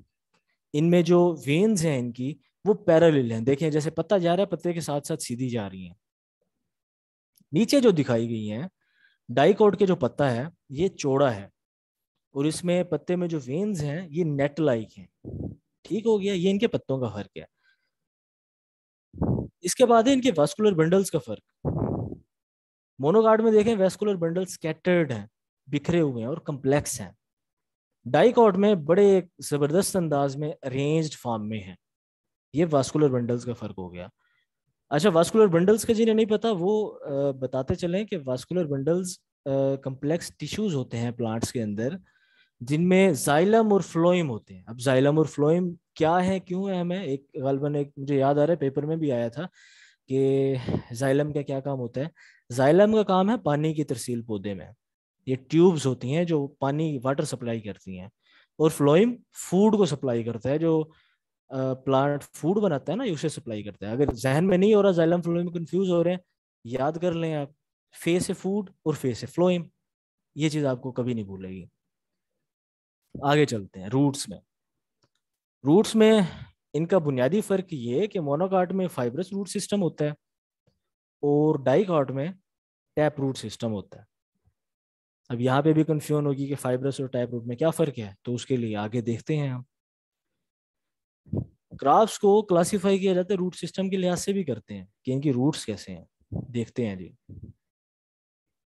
2015 में ये सवाल भी कर चुके हैं कि शेलो रूटेड क्राफ्स है, यानी डीप होती है चीज़ कोई या शेलो होती है, ऊपर ऊपर से ही, कम गहरी।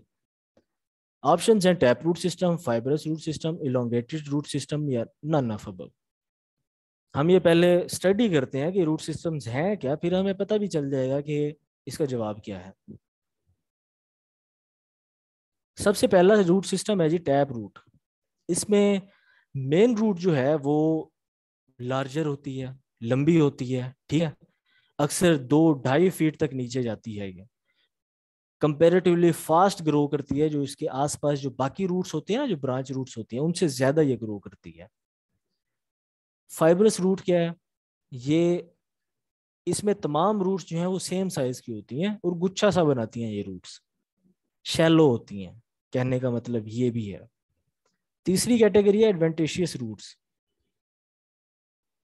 ये दोनों रूट्स के अलावा एक तीसरी कैटेगरी है जो अबव ग्राउंड होती हैं, जिन्हें हम कारल कलर रूट भी कहते हैं एरियल रूट भी कह सकते हैं आगे हम फ़ोटो देखते हैं तो क्लियर हो जाएगी टैप रूट देखें, इसमें मेन रूट जो है वो काफ़ी डेप्थ में जा रही है, लंबी है, तगड़ी है, बाकी जो ब्रांच रूट्स हैं उनकी नस्बत। फाइबरस रूट्स देखें तो ऑलमोस्ट सारे रूट्स इक्वल साइज़ के हैं और गुच्छा सा बन रहा है। साथ जो तीसरी दी हुई है, ये है एडवेंटिशियस रूट्स ज़मीन से बाहर निकली हुई है ये। क्यों? ये होती हैं मेज में, सारगम में शुगर केन में, क्योंकि उनका पौधा बहुत बड़ा और वजनी होता है, उनको सहारा देने के लिए। बाजों का इन्हें हम हाँ कलर रूट भी कह देते हैं, क्राउन रूट भी कह देते हैं, एरियल रूट भी कह देते हैं, मुख्तलिफ़ इनके हम नाम दे देते हैं। एग्जाम्पल्स क्या है? टैप रूट जो है, ये हमारी मेजर क्राफ्ट में से काटन में है। फाइब्रस रूट जो है, ये वीट में है और एडवेंटिशियस रूट जो है, ये मेज में है। ये बस आपने तीन नाम याद रख लेने हैं। आगे है जी एग्रोनॉमिक क्लासिफिकेशन है क्राप्स की। 2018 में जी पीपीएससी ने पूछा कि cereal crops grown in Punjab Punjab में कौन कौन सी सीरियल क्रॉप्स लगाई जाती हैं? मेज पैडी मिलेट या ऑल ऑफ़ पहले आपको पता हो कि सीरियल क्रॉप्स हैं क्या। ये जी ग्रास है जिसे उगाया जाता है फॉर इट्स एडिबल सीड ठीक है? इसका सीड इसका बीज खाने के लिए हम लगाते हैं। इसकी examples wheat maize rice barley oat sorghum millet ये तमाम चीज़ें इसमें आ जाती हैं। वीट मेज राइस हमारी ये मेजर क्रॉप्स हो गई। बार्ले और सारगा मिलेट हम इन्हें ज़्यादातर ग्रासीज के तौर पे ही इस्तेमाल करते हैं। अब जो ऊपर एमसीक्यू पूछा था, ये अब आपको आ जाना चाहिए। मेज, पैडी पैडी मतलब राइस, मिलेट, ये तीनों ही पंजाब में काश्त की जाती हैं तो ऑल ऑफ़ अबाउ इसका करेक्ट आंसर है। अब एक टर्म जो है, अक्सर इसमें कंफ्यूजन होती है कि सीरियल और ग्रेन में क्या फ़र्क है। सीरियल्स हमने अभी पढ़ा, ये ग्रास फैमिली से ताल्लुक रखते हैं और एडिबल सीड्स होते हैं। जबकि जो ग्रेन्स हैं ये ग्रास फैमिली के भी हो सकते हैं। प्लस ये लिग्यूम, लिग्यूमिनेसी, यानी ये लिग्यूम्स भी हो सकते हैं। और मकसद इनका यही है कि एडिबल सीड्स होते हैं इनके जो हम खाने के लिए इस्तेमाल करते हैं। थोड़ा सा फ़र्क है इनमें बस।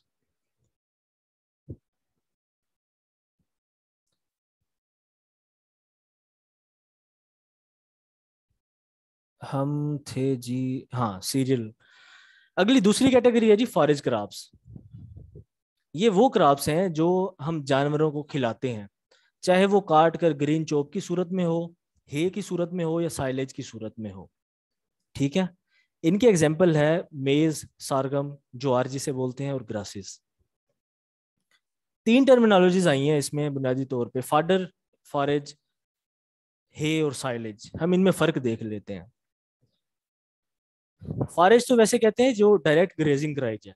जानवरों को वैसे ही चरने के लिए छोड़ दिया जाए। एक इसके लिए इस्तेमाल होता है फाडर पूरे प्लांट को हम हार्वेस्ट कर लेते हैं, काट लेते हैं और जानवर के आगे डाल देते हैं। जानवर उस पर फ़ीड करता है। इसको हम बोलते हैं फाडर उसके बाद एक टर्मिनोलॉजी है हे इसमें हम घास को काट लेते हैं, उसके बाद उसे खुश्क करके फिर हम जानवर को खिलाते हैं। इसमें जो मॉइस्चर परसेंटेज है वो बारह परसेंट से कम होता है। तीसरी टर्म जो है वो है साइलेज इसमें यह है कि प्लांट अभी ग्रीन होता है, हम उसे काट लेते हैं।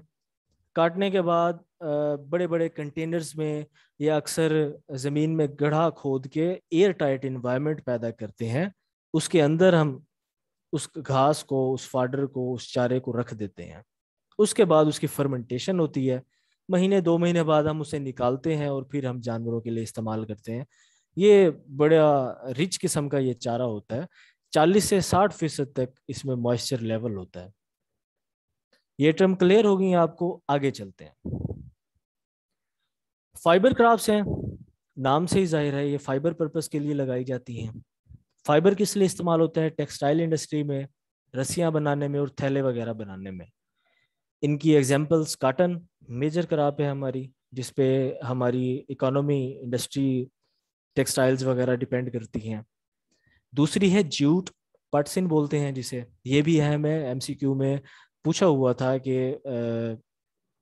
मंदरजा झैल में से फाइबर क्राप कौन सी है? तो काटन का उसमें ऑप्शन नहीं था। काटन का तो सबको पता है जूट का अक्सर लोगों को पता नहीं होता। तो ये भी आपके जहन में होना चाहिए। फ्लैक्स और सेनहेम भी इसकी एग्जांपल्स हैं। आगे हैं जी, शुगर क्राप्स ये भी नाम से ज़ाहिर है, इनमें शुगर कंटेंट काफ़ी हाई होता है। तो इसलिए हम इनको ग्रो करते हैं। इनकी एग्जांपल्स हैं शुगर केन शुगर बीट और स्वीट सारगम शुगर बीट ये चिकंदर को जो बोलते हैं शुगर केन का पता है आपको। और सारगम जो ज्वार होती है, उसकी भी कुछ वेराइटीज़ हैं, जिनमें शुगर कंटेंट काफ़ी हाई होता है तो उन्हें भी हम इस्तेमाल करते हैं।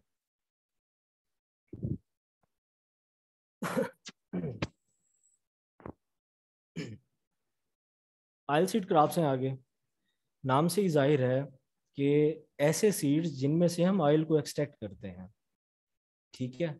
इनके एग्जांपल क्या है? रैप सीड एंड मस्टर्ड है, सरसों जो हम घरों में तेल इस्तेमाल करते हैं कैनोला जो हम खाने के लिए इस्तेमाल करते हैं, ये दोनों रबी क्रॉप्स हैं। सोयाबीन है सनफ्लावर है सिसेम है, तिल जिसे बोलते हैं कैस्टर बीन है, जिसे अरंड बोलते हैं शायद, बहुत कम लोगों ने इसे देखा होगा। तो ये इसके एग्जांपल्स हैं। 2018 में जी पीपीएससी ने सवाल पूछा कि इनमें से कौन सी ऑयल सीड खराब नहीं है? सोयाबीन दे दिया उन्होंने क्लस्टर बीन दे दिया कास्टर बीन दे दिया और मस्टर्ड दे दिया। अभी हमने पढ़ा है, सोयाबीन ऑयल सीड है कास्टर बीन भी ऑयल सीड है मस्टर्ड भी ऑयल सीड है, बाकी बचता है क्लस्टर बीन ठीक है, जिसे क्लस्टर बीन क्या है? ये जो हम घरों में पकाते हैं ना, गवार जिसे बोलते हैं, सब्ज़ी के तौर पे, ये वो है क्लस्टर बीन तो इसमें से तो तेल नहीं निकलता तो इसलिए इसका जवाब है बी यानी ऑयल सीड क्रॉप नहीं है।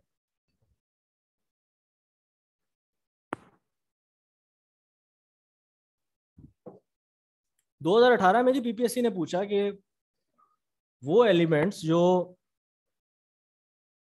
लिग्यूम क्रॉप सॉइल में ऐड करती हैं, वो कौन सा एलिमेंट है? पोटाशियम है नाइट्रोजन फास्फोरस या जिंक बड़ी मज़े की बात है इसमें, हम देखते हैं। लिग्यूम क्रॉप्स हैं क्या? ये लिग्यूमिनेसी फैमिली से ताल्लुक रखती हैं, एक याद रखने का पॉइंट दूसरा पॉइंट ये कि इनका सीड जो है वो एडिबल होता है। हमने पढ़ा कि ग्रेन क्या होता है, जो लेग्यूम्स का सीड होता है, हम उसको ग्रेन बोलते हैं। तीसरा पॉइंट वो ये कि ये जो क्रॉप्स हैं, ये नाइट्रोजन फिक्सेशन करती हैं। किस तरह से करती हैं? इनकी रूट्स के साथ बैक्टीरिया अटैच होते हैं, जो हमारी फिजा में नाइट्रोजन है ना उसको ये कन्वर्ट करते हैं और सॉइल के अंदर इसे फिक्स कर देते हैं, जिसकी वजह से हमारी सॉइल हेल्थ इंप्रूव होती है। तो इस सवाल का जवाब भी यही है कि ये नाइट्रोजन को ऐड करते हैं सॉइल में। ये सवाल भी हमारा क्लियर हो गया यहाँ पे। इसकी एग्जांपल्स जो हमारी बीन्स हैं सोयाबीन है चिकपी है पिजन पी काउ पी लोबिया जिसे बोलते हैं, moong bean mash bean lentil सारी आपसे याद नहीं होती तो इसमें दो तीन आप याद करते जाएँ कि जिनके नाम के साथ पीज लगता है या बीन लगता है तो वो ज़्यादातर कास्टर बीन के अलावा वो लेग्यूम में ही आती हैं। एक और सवाल जी 2015 में से, इसी टॉपिक में से ही पीपीएससी ने पूछा which crop is oil seed and pulse crop बहुत मज़े का सवाल है ये, कि जो ऑयल सीड भी हो और पल्स क्रॉप भी हो। Moong bean, castor bean, mash bean और सोयाबीन। इनमें हमने अभी पढ़ा है, मूंग बीन दाल है, घरों में भी हम इसे इस्तेमाल करते हैं, ठीक है? कास्टर बीन जो है, वो हमने ऑयल सीड्स में पढ़ा है पल्सिस में हमने नहीं पढ़ा इसे तो ये ऑप्शन भी नहीं है। माश बीन, इसे भी हम घरों में इस्तेमाल करते हैं, पकाते हैं, तेल तो नहीं निकालते ना इसमें से। चौथा ऑप्शन है जी सोयाबीन, और करेक्ट ऑप्शन भी यही है। सोयाबीन एक बड़ी वर्सटाइल किस्म की क्रॉप है, जिसे हम पल्सिस के तौर पे भी इस्तेमाल करते हैं, लिग्यूम क्रॉप भी है, और इसमें से हम ऑयल भी एक्सट्रैक्ट करते हैं। ये सवाल भी नोट कीजिएगा, रिपीट हो सकता है। अगली कैटेगरी है जी, रूट एंड ट्यूबर क्रॉप्स। ये ऐसी क्रॉप है जिनकी हम रूट को इस्तेमाल करते हैं, या खाने के लिए इस्तेमाल करते हैं हम। या फिर उनका मेडिसिनल पर्पज़ के लिए हम उसे इस्तेमाल करते हैं। कैरेट है रेडिश है टर्निप है ओनियन पोटैटो वगैरह। यहाँ पे हमने रूट एंड ट्यूबर भी लिखा है। तो ट्यूबर का क्या मतलब है? ट्यूबर ऐसे अंडरग्राउंड पार्ट है स्टेम का, जो फ़ूड रिज़र्व के तौर पे काम करता है। ठीक है? एक पॉइंट ये कि ये स्टेम का पार्ट है अंडरग्राउंड पार्ट दूसरा पॉइंट ये कि फ़ूड रिज़र्व के तौर पे काम करता है। तीसरा पॉइंट ये कि इसमें से बर्ड्स निकलती हैं, जिसमें से नए पौधे भी बनते हैं। जैसे पोटैटो है। नार्कोटिक या ड्रग क्रॉप है जी। ये ज़ाहिर है ड्रग पर्पज के लिए इस्तेमाल होती हैं। पोपी है, हमारी ये अफीम, चरस, भंग, ये जितनी भी चीज़ें हैं, पोस्ट वगैरह। तोबाकू है, टी काफ़ी भी इसी में आती हैं। क्योंकि इनसे भी बंदा एडिक्ट हो जाता है ना तो इनमें भी एक वो लेवल होता है ड्रग का।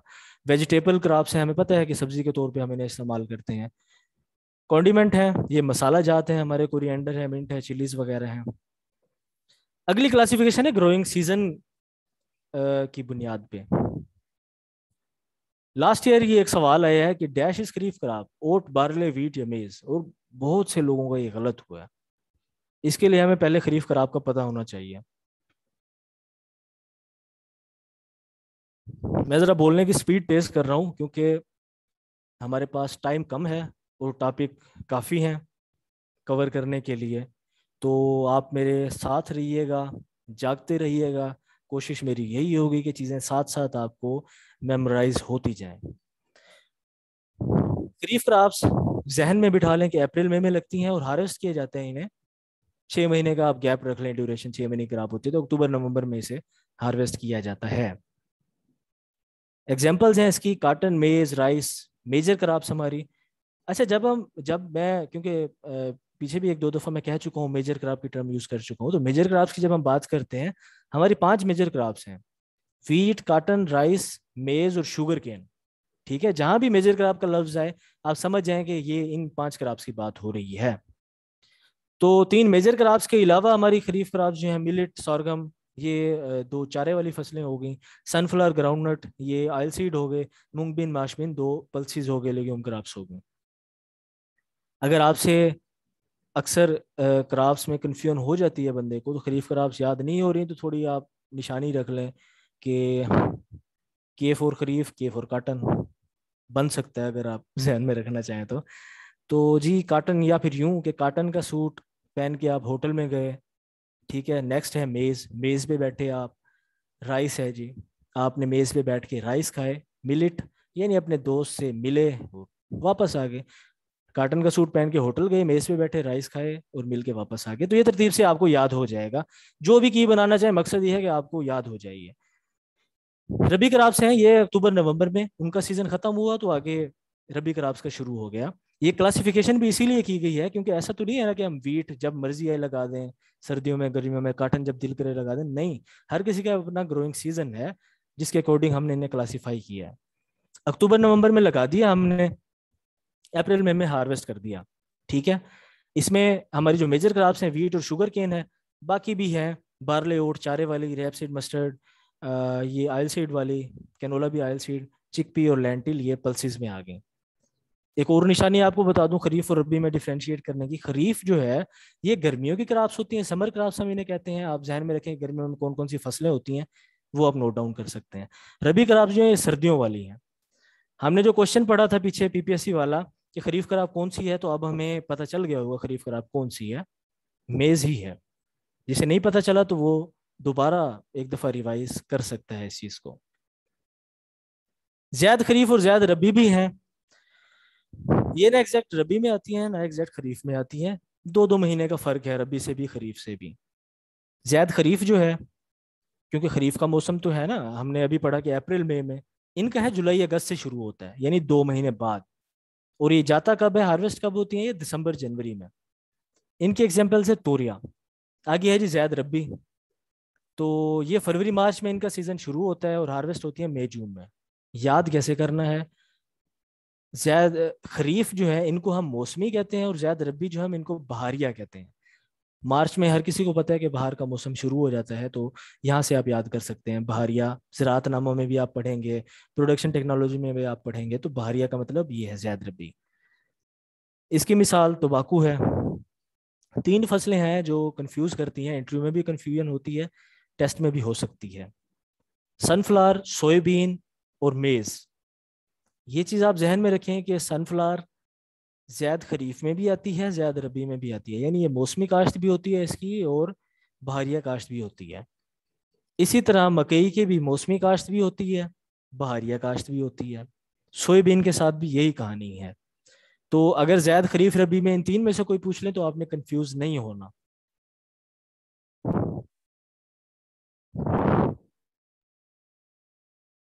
फ़ोटो पीरियड के लिहाज से जी क्लासिफिकेशन है अगली, जो हम पढ़ेंगे। फ़ोटो पीरियड का क्या मतलब है? फ़ोटो मतलब लाइट पीरियड टाइम लाइट को हम डे कह सकते हैं। तो photoperiod is equal to day length photoperiodism क्या है?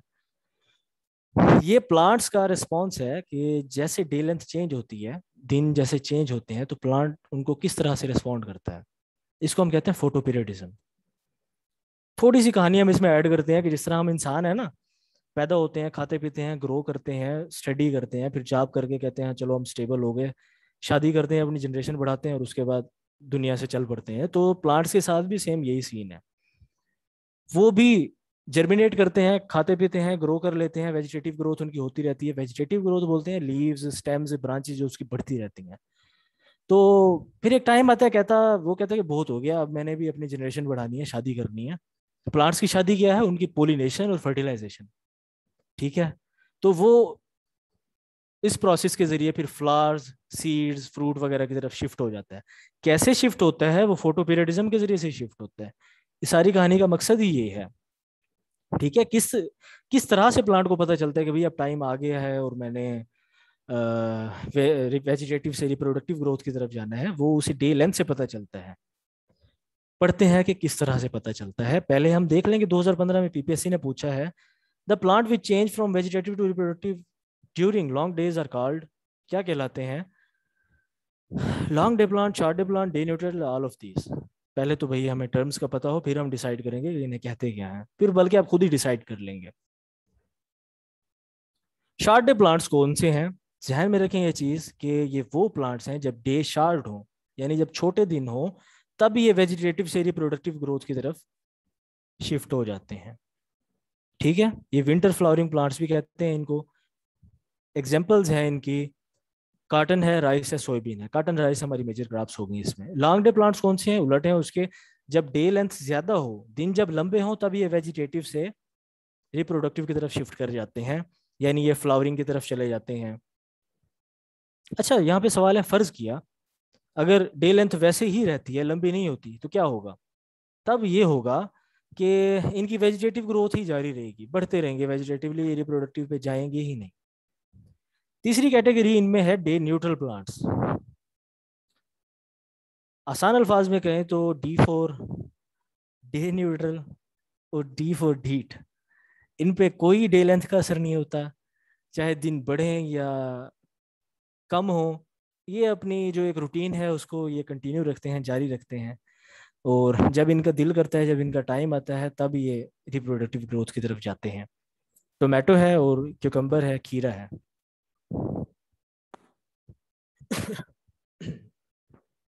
सॉरी अगली क्लासिफिकेशन है ग्रोथ हैबिट के लिहाज से। दो आसान सी क्लासिफिकेशन है इसमें। डिटर्मिनेट है और इनडिटर्मिनेट है। डिटर्मिनेट बोलते हैं रेगुलेट डिसिप्लिन और नजरियाती किस्म के आदमी को। तो ये प्लांट्स भी ऐसे ही हैं, बड़े रेगुलेटेड हैं डिसिप्लिन हैं, यानी पहले इनमें वेजिटेटिव ग्रोथ कंप्लीट होती है, फिर इसके बाद ये अपनी रिप्रोडक्टिव ग्रोथ की तरफ़ जाते हैं। तरतीब से चलते हैं ये। वीट है राइस है बार्ले है। ये इसके एग्जाम्पल्स हैं वीट राइस याद रखने हैं हमारी मेजर क्रॉप्स हैं। इनडिटर्मिनेट इरेगुलर हैं डिसिप्लिन नहीं है इनमें। यानी इनमें वेजिटेटिव ग्रोथ भी चल रही होती है और साथ साथ इनकी रिप्रोडक्टिव ग्रोथ भी चल रही होती है। काटन की एग्जांपल लें। ठीक है? काटन के जो बाकी सौ मसले हैं, उनके साथ एक मसला ये भी है कि ये इनडिटर्मिनेट है। यानी इसमें एक ही टाइम पे ग्रोथ भी हो रही होती है। वेजिटेटिव ग्रोथ इसका स्टेम तना वगैरह कद बढ़ रहा है, इसका ब्रांचेस बढ़ रही हैं, पत्ते वगैरह बढ़ रहे हैं। साथ इसके फ्लावर्स भी लगे हुए हैं। इमेच्योर फ्लावर्स भी हैं मेच्योर फ्लावर्स भी हैं। साथ इसका फल भी लगा हुआ है सीड्स भी बन रहे हैं, सारा कुछ हो रहा है। तो ये इनडिटर्मिनेट की ये खसूसियत है। ये सारी कहानी एक ही टाइम पे चल रही होती है उनमें। लाइफ साइकिल की बुनियाद पे है क्लासिफिकेशन एनुअल क्रॉप्स है नाम से ही ज़ाहिर है, सालाना है ये, ठीक है, एक साल में ही अपनी ये ग्रोथ वगैरह मुकम्मल कर लेते हैं और उसके बाद ख़त्म हो जाते हैं अपनी फ्लावर्स वगैरह सीड्स वगैरह बना के। वीट मेज बारले ये जो हम क्रॉप्स देखते हैं, इनमें यही फिनमिना ही होता है। छः महीने के अंदर अंदर इनकी ग्रोथ मुकम्मल हो जाती है। बाई इनियल है बाई का मतलब bi is equal to two इनवल, hear, दो साल क्रॉप्स हैं ये। इनमें जी रेडिश हैं कैरेट हैं टर्निप हैं, ये जो हमारे गाजर मूलियाँ वगैरह हैं, इनमें ये होता है, पहले साल ये अपनी वेजिटेटिव ग्रोथ मुकम्मल करते हैं। उसके बाद ये दूसरे साल में नेक्स्ट सीज़न में जाके ये अपने फ्लावर्स बनाते हैं, ठीक है फ्रूट बनाते हैं, अपने सीड्स वगैरह बनाते हैं। तो अब दरमियान में जो गैप आता है, ये पहले सीज़न में ही, जब ये वेजिटेटिव ग्रोथ इनकी होती है तो अपनी फ़ूड को स्टोर कर लेते हैं और स्टोर करने के बाद नेक्स्ट सीज़न में सीड वगैरह बनाने के लिए इसे इस्तेमाल करते हैं। पेरिनियल है दो साल से भी ज़्यादा है ये कई कई साल तक ये जा सकते हैं ठीक है? आ, ये भी हो सकता है कि हर साल सीड पैदा करें ये भी हो सकता है कि ये साल छोड़ के दो साल बाद तीन साल बाद इन पे सीड लगे।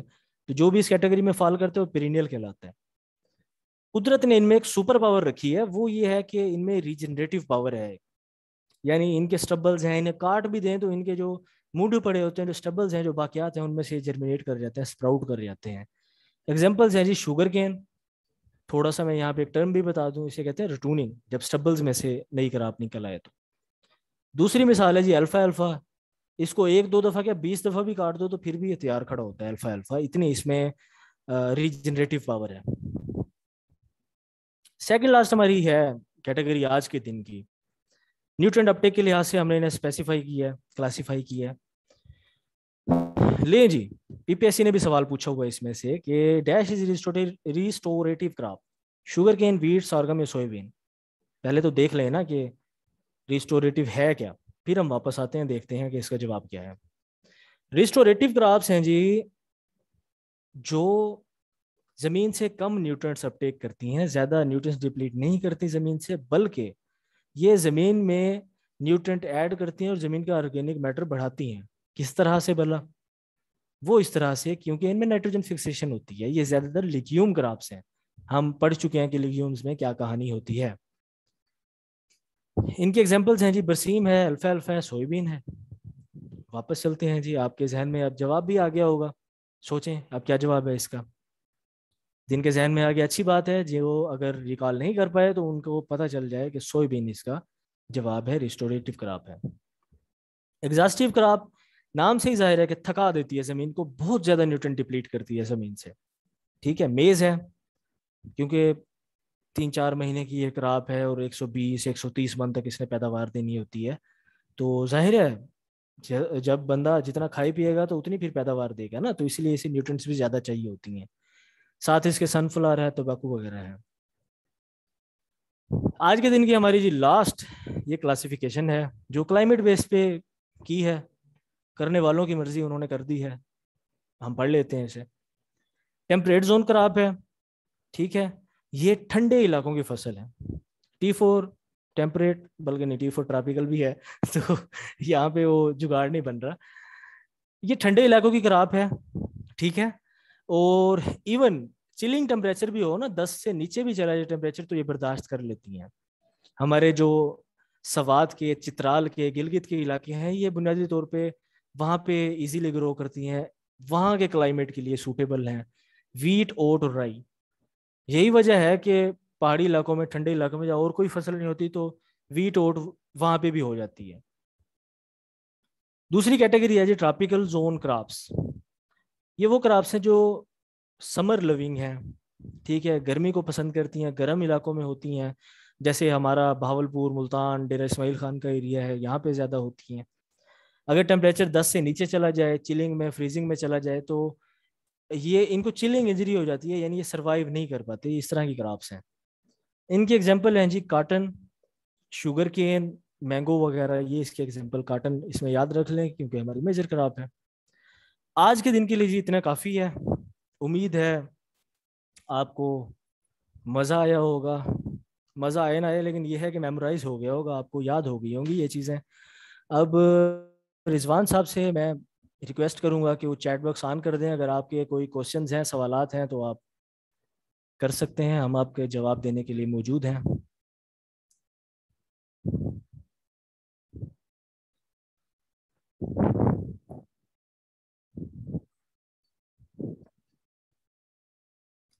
जी, ये मोहम्मद बिलाल ने पूछा है कि मेज सीरियल क्रॉप है या फॉर्डर तो भाई, ये मेज सीरियल भी है, क्योंकि हम तो नहीं इसे खाने के लिए इस्तेमाल करते ना, लेकिन फॉरेन कंट्रीज़ में इसे डाइट के तौर पे भी इस्तेमाल, खाने के तौर पे भी इसे इस्तेमाल करते हैं, इसके बीज को, वहाँ पे ये सीरियल है। हम इसे ज़्यादातर फॉर्डर के तौर पे, जानवरों को खिलाते हैं, चारे के तौर पे इस्तेमाल करते हैं। अच्छा एक यहाँ पे स्टूडेंट ने पूछा हुआ है कि परकुलेशन परमेबिलिटी का और इनफिल्ट्रेशन रेट का डिफरेंस क्या है? वैसे मैं सर साथ को कहती हूँ कि हम एक लेक्चर ऑर्गेनाइज करवाते हैं, जिसमें सीपेज इनफिल्ट्रेशन रेट है परमेबिलिटी है परकुलेशन इन सबके डिफरेंस क्लियर करवाएँ, क्योंकि एक दो क्वेश्चन जनरेट होने के बड़े मार्जिन होते हैं। तो इनफिल्ट्रेशन रेट ये होता है कि जब पानी आपकी सॉइल प्रोफ़ाइल के अंदर नहीं है, वो बाहर से आएगा मतलब बारिश होगी या आप उसको इरीगेट करेंगे, वो एक outer surface of the soil से आता है और फिर सॉइल के अंदर आता है, ठीक है? लेकिन जो आपकी परमेबिलिटी होती है, वो ऐसी सॉइल की एबिलिटी है कि वो जो सॉइल के अंदर के पोर्स हैं, वो अंदर मूवमेंट ऑफ़ वाटर को कंट्रोल करता है। उसका आउटसाइड वाटर से कोई लिंक नहीं होता। सॉइल के प्रोफ़ाइल के अंदर जो वाटर मूव करता है, वो परमेबिलिटी होती है।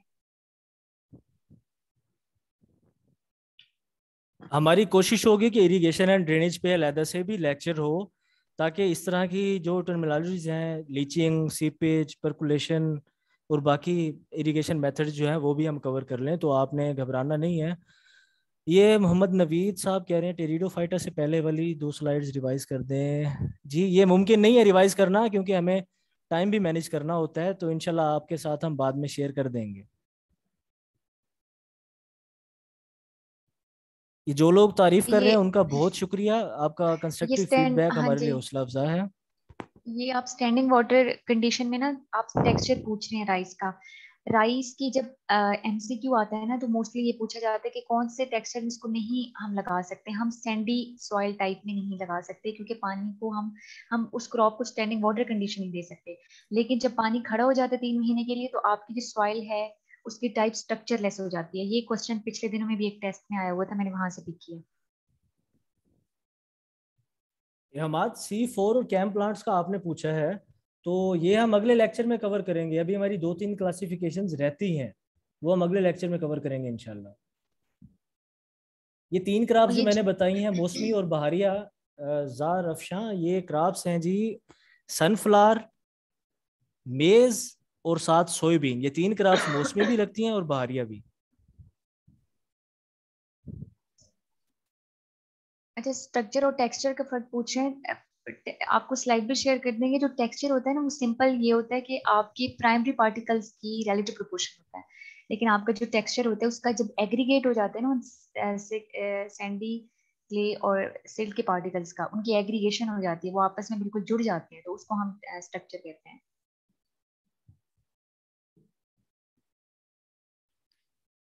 जी कार्टन एनुअल क्रॉप है छह महीने में ही इसकी सारी कहानी मुकम्मल हो जाती है। कार्टन के मुतलिक आपकी हर चीज़ क्लियर होनी चाहिए। इसमें कोई कन्फ्यूज़न ना रखें, अगर कोई कन्फ्यूज़न हो तो ज़रूर पूछ लिया करें। हमारी कोशिश भी यही होती है कि मेजर क्राफ्ट से रिलेट करके लेके चलें आपको।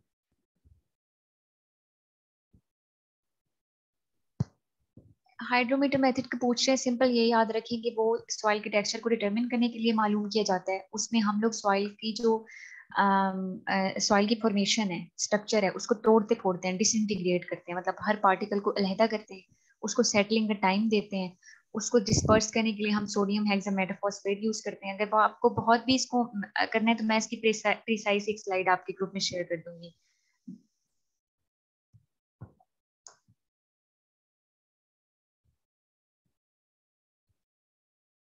ऑप्टिमम पीएच पाकिस्तानी सॉइल की ना 8.5 है। हम इसको डिटेल से भी डिस्कस करेंगे।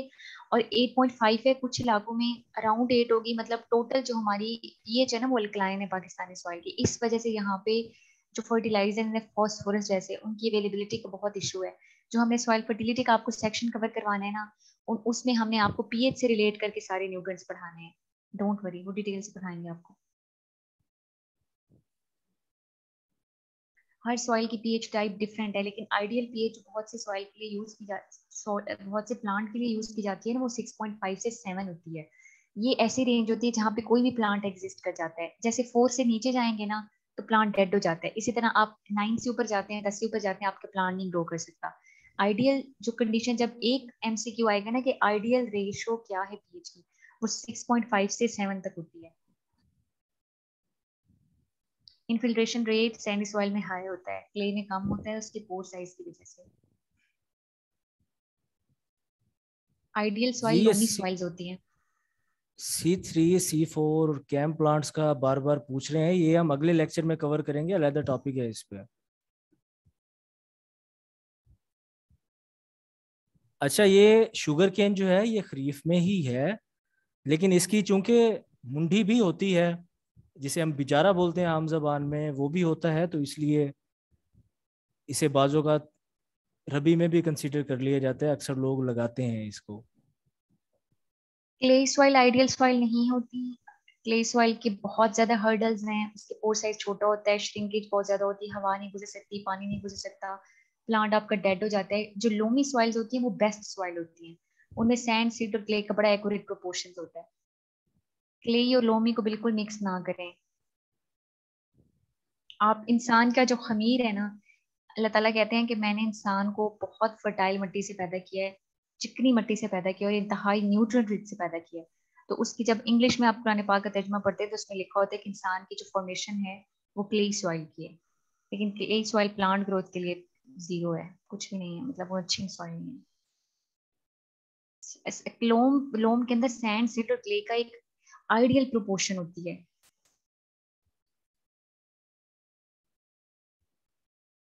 ये पोइसी और ग्रेमिनी में किसी ने फ़र्क पूछा है तो दोनों एक ही हैं जी। पोइसी का नाम ही पहले ग्रेमिनी था। इसमें हमारे ग्रासीज आ जाते हैं। अभी हमने पढ़ा है मोनोकाटिलेडन जो है हमारे, वो पोइसी में ही आ जाते हैं। फैमिलीज़ को भी हम डिस्कस करेंगे। कार्टन की फैमिली जैसे मलवेसी है इस तरह की, उसके लिए लेदर टॉपिक है। लेकिन ये चीज़ बस जहन में बिठा लें कि पोइसी और ग्रेमिनी एक ही है। पोइसी का नाम पहले ग्रेमिनी था। ग्रासीज हैं ये, जिनकी एग्जाम्पल्स हैं वीट वगैरह। अच्छा एक बच्चे ने बड़ा हेल्दी क्वेश्चन पूछा है। पीपीएससी के लेवल का कि क्ले लोम सॉइल बेस्ट है राइस के लिए? जी, बिल्कुल बेस्ट है। हालाँकि क्ले लोम सॉइल को हम किसी भी क्रॉप क्रॉप के लिए रेकमेंड नहीं करते, सिवाय राइस के। क्योंकि उसमें बड़ी सफोकेशन हो जाती है एरेशन रुक जाती है बिल्कुल। लेकिन राइस को हम लगा सकते हैं क्योंकि राइस में एरोकाइमस सेल्स होते हैं। तो वो जो एरेशन का प्रोसेस होता है, वो उसका वैसे ही बाहर से हो रहा होता है, ठीक है? तो आप क्ले लोम सॉइल में बिल्कुल राइस लगा सकते हैं, बहुत अच्छा क्वेश्चन है। परमानेंट क्वालिटी स्ट्रक्चर टेक्सचर है टेक्सचर है टेक्सचर इसको रटा लगा लें स्ट्रक्चर जो है, वो डायनामिक कवर्ड यूज़ होता है।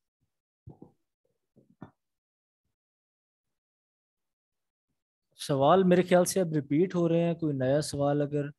हे और साइलेज में फ़र्क बता चुके हैं जी। आ, हे जो है इसमें ड्राई कर दिया जाता है ग्रास को। 12 परसेंट से कम मॉइस्चर होती है और जो साइलेज है इसमें प्लांट अभी जैसे मेज़ है सर सब्ज़ी होता है इसे हम काट के बड़े बड़े कंटेनर्स होते हैं उसके अंदर एयर टाइट इन्वायरमेंट में रख देते हैं ताकि उसमें फर्मेंटेशन हो जाए। और इसमें जो मॉइस्चर होती है वो 40 से 60 फ़ीसद तक होती है। बल्क डेंसिटी की जो वैल्यू पूछ रहे हैं ना बच्चे वो 0.96 से 2 तक होती है और इसकी वैल्यू हमेशा हर सॉइल टेक्सचर के लिए वेरी करेगी। 2.65 का फिगर आपने रखना है ये अक्सर जगह पे पूछे जाते हैं 2.65 ग्राम पर सीएम क्यूब ये आपकी पार्टिकल डेंसिटी का फिगर है और बड़ा फ़ेमस फिगर है। ये मोनोकॉट और डाइकोट में फ़र्क का काफ़ी क्वेश्चन रिपीट हो रहा है हम पढ़ भी चुके हैं इस पे। तो कोशिश किया करें जागते रहा करें आप। फिर भी चले मैं रिपीट किए देता हूँ कि एक तो हमने कॉटिलेडन का डिफरेंस पढ़ा मोनो में एक डाइकॉट में दो। दूसरा हमने पढ़ा इसमें आ, के पत्तों का मोनोकॉट के पत्ते नैरो वेन्स जो हैं वो पैरालिल हैं। डाइकॉट में जो है वो नेट लाइक हैं पत्ते इनके चौड़े हैं। तीसरी सबसे अहम बात जो देखने में भी हमें पता चलती है कि मोनोकॉट का जो है फाइब्रस रूट सिस्टम है और दूसरे का जो है वो टैप रूट सिस्टम है। अच्छा ये इंपॉर्टेंस पूछ रहे हैं डेंसिटी की। डेंसिटी होती है मैस पर यूनिट वॉल्यूम ठीक है? हम बल्क डेंसिटी को बहुत इंपॉर्टेंटली डिस्कस करते हैं क्योंकि बल्क डेंसिटी के अंदर बल्क में हर चीज़ होती है। यानी पोर्ट्स भी हैं वाटर पोर्ट्स के अंदर वाटर एंड एयर है। तो हम इसलिए डिस्कस करते हैं कि हम ये देखना चाहते हैं कि इस सॉइल की बल्क डेंसिटी कितनी है? क्या इसके अंदर इतने पोर्ट्स हैं कि हम प्लांट लगा सकें? वो हमारे प्लांट की रूट फ्लोरिफिरेट करेंगे, उसमें फैलेंगी। उसके अंदर एनकरेज अच्छी होगी न्यूट्रन अपटेक होंगे। मतलब इस पॉइंट ऑफ़ व्यू से हम बल्क डेंसिटी को डिस्कस करते हैं। पार्टिकल डेंसिटी को तो फेवरेट ही नहीं समझा जाता। हमने सिर्फ़ पार्टिकल्स का क्या करना है? पार्टिकल को तो कुछ नहीं करना ना हमने। वैसे भी पार्टिकल डेंसिटी में से हम माइनस कर लेते हैं कि उसके अंदर कितनी फोर स्पेसेस हैं। ठीक है? अच्छा छोटी छोटी चीज़ों का ख्याल रखना है आपने कि क्वेश्चंस ये नहीं कॉपी पेस्ट करके बम्बारी नहीं कर देते क्वेश्चंस की। इसका भी एक तरीका कार होता है ना, बराबर। आप क्वेश्चन करें, क्योंकि तरतीब से आ रहे होते हैं, एक क्वेश्चन को एड्रेस करने के बाद हम देखते हैं, डेढ़ सौ क्वेश्चन आए हुए हैं तो कई अहम क्वेश्चन स्किप हो जाते हैं इसमें। अपनी बारी का इंतज़ार करें, दो मिनट, तीन मिनट तक अगर आपको जवाब नहीं मिलता, आप समझते हैं कि अहम है आपका क्वेश्चन तो आप रिपीट कर सकते हैं। फिर भी अगर रह जाए, क्योंकि सारे सवालों का जवाब देना मुख्तर टाइम में मुमकिन नहीं है। अभी देखें, ग्यारह बज चुके हैं, हम तीन मिनट ऊपर जा चुके हैं अपने टाइम से। तो फिर भी रह जाए तो ग्रुप में क्वेश्चन कर सकते हैं, वहाँ भी रह जाए और आप समझें कि बहुत अहम सवाल है जिसके बगैर आपका गुजारा नहीं है। तो पर्सनल मैसेज कर सकते हैं, लेकिन बम्बारी नहीं करनी मैसेजेस की वहाँ पे भी। जब टाइम होगा तो हम कोशिश करेंगे हमारे जो टीम मेंबर्स हैं आपको फैसिलिटेट करने की। तो मेरे ख्याल से क्वेश्चंस कवर हो चुके हैं तकरीबन। डेल्टा वाटर ड्यूटो वाटर पे क्वेश्चन रिपीट हो रहा है तो इसके लिए इरिगेशन एंड ड्रेनेज का हम अलहदा से लेक्चर रखेंगे, जिसमें क्रॉप्स का भी डेल्टा वाटर हम कवर करेंगे। और ये टर्मिनोलॉजीज भी कवर करेंगे। मैम इसके अलावा कोई क्वेश्चन आपकी नज़र में हो तो कवर कोई हैंडसम हैंडसम क्वेश्चन नहीं है। आप करें ये जो डेल्टा वाटर के क्वेश्चन थे ना ये हमने आपको चार्ट भेज दिए हैं। वरी नहीं करें आप। ये हम सारी क्रॉप्स के आपको बता देंगे। सर इसमें यह है कि अगर कोई बाद में भी क्वेश्चन करना चाहते हैं तो वो आपसे कर सकते हैं। तो अभी रिजवान से मैं रिक्वेस्ट करूँगा कि हमारे विनर का जो है बैकग्राउंड पे शो करें और सर आप उसको अनाउंस करें और उसके बाद हम कंक्लूड करें।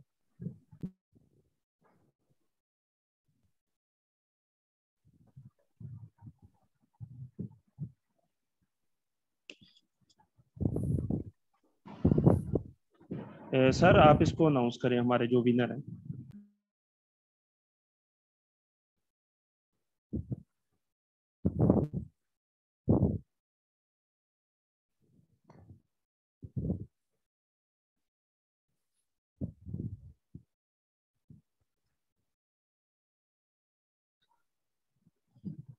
मेरा ख्याल है सर का कोई वॉइस इशू है शायद इसमें। तो आज के हमारा जो मोक टेस्ट था, उसके विनर हैं अजीजुर रहमान। आप फैसलाबाद से बिलोंग करते हैं और आपका मेजर एग्रोनॉमी है। तो हार्टियस फेलिसिटेशन आपने आज टॉप किया तो यकीनन इस मोक टेस्ट सीरीज़ का पर्पज जो है वो यही है कि एक कंपटीशन की जो एनवायरनमेंट है उसको हम इंश्योर करें। और आज तक जितने भी हमारे टॉपर्स हैं, उनको हमने आज डिस्पैच कर दी हैं बुक्स वो एक दो दिनों में इनशाला आपको मिल जाएँगी। और अज़ीज़ साहब की भी जो है, आज हम डिस्पैच कर देंगे। हम सबको टीम सोवा को अपनी दुआओं में याद रखें। और thank you so much Allah हाफिज़।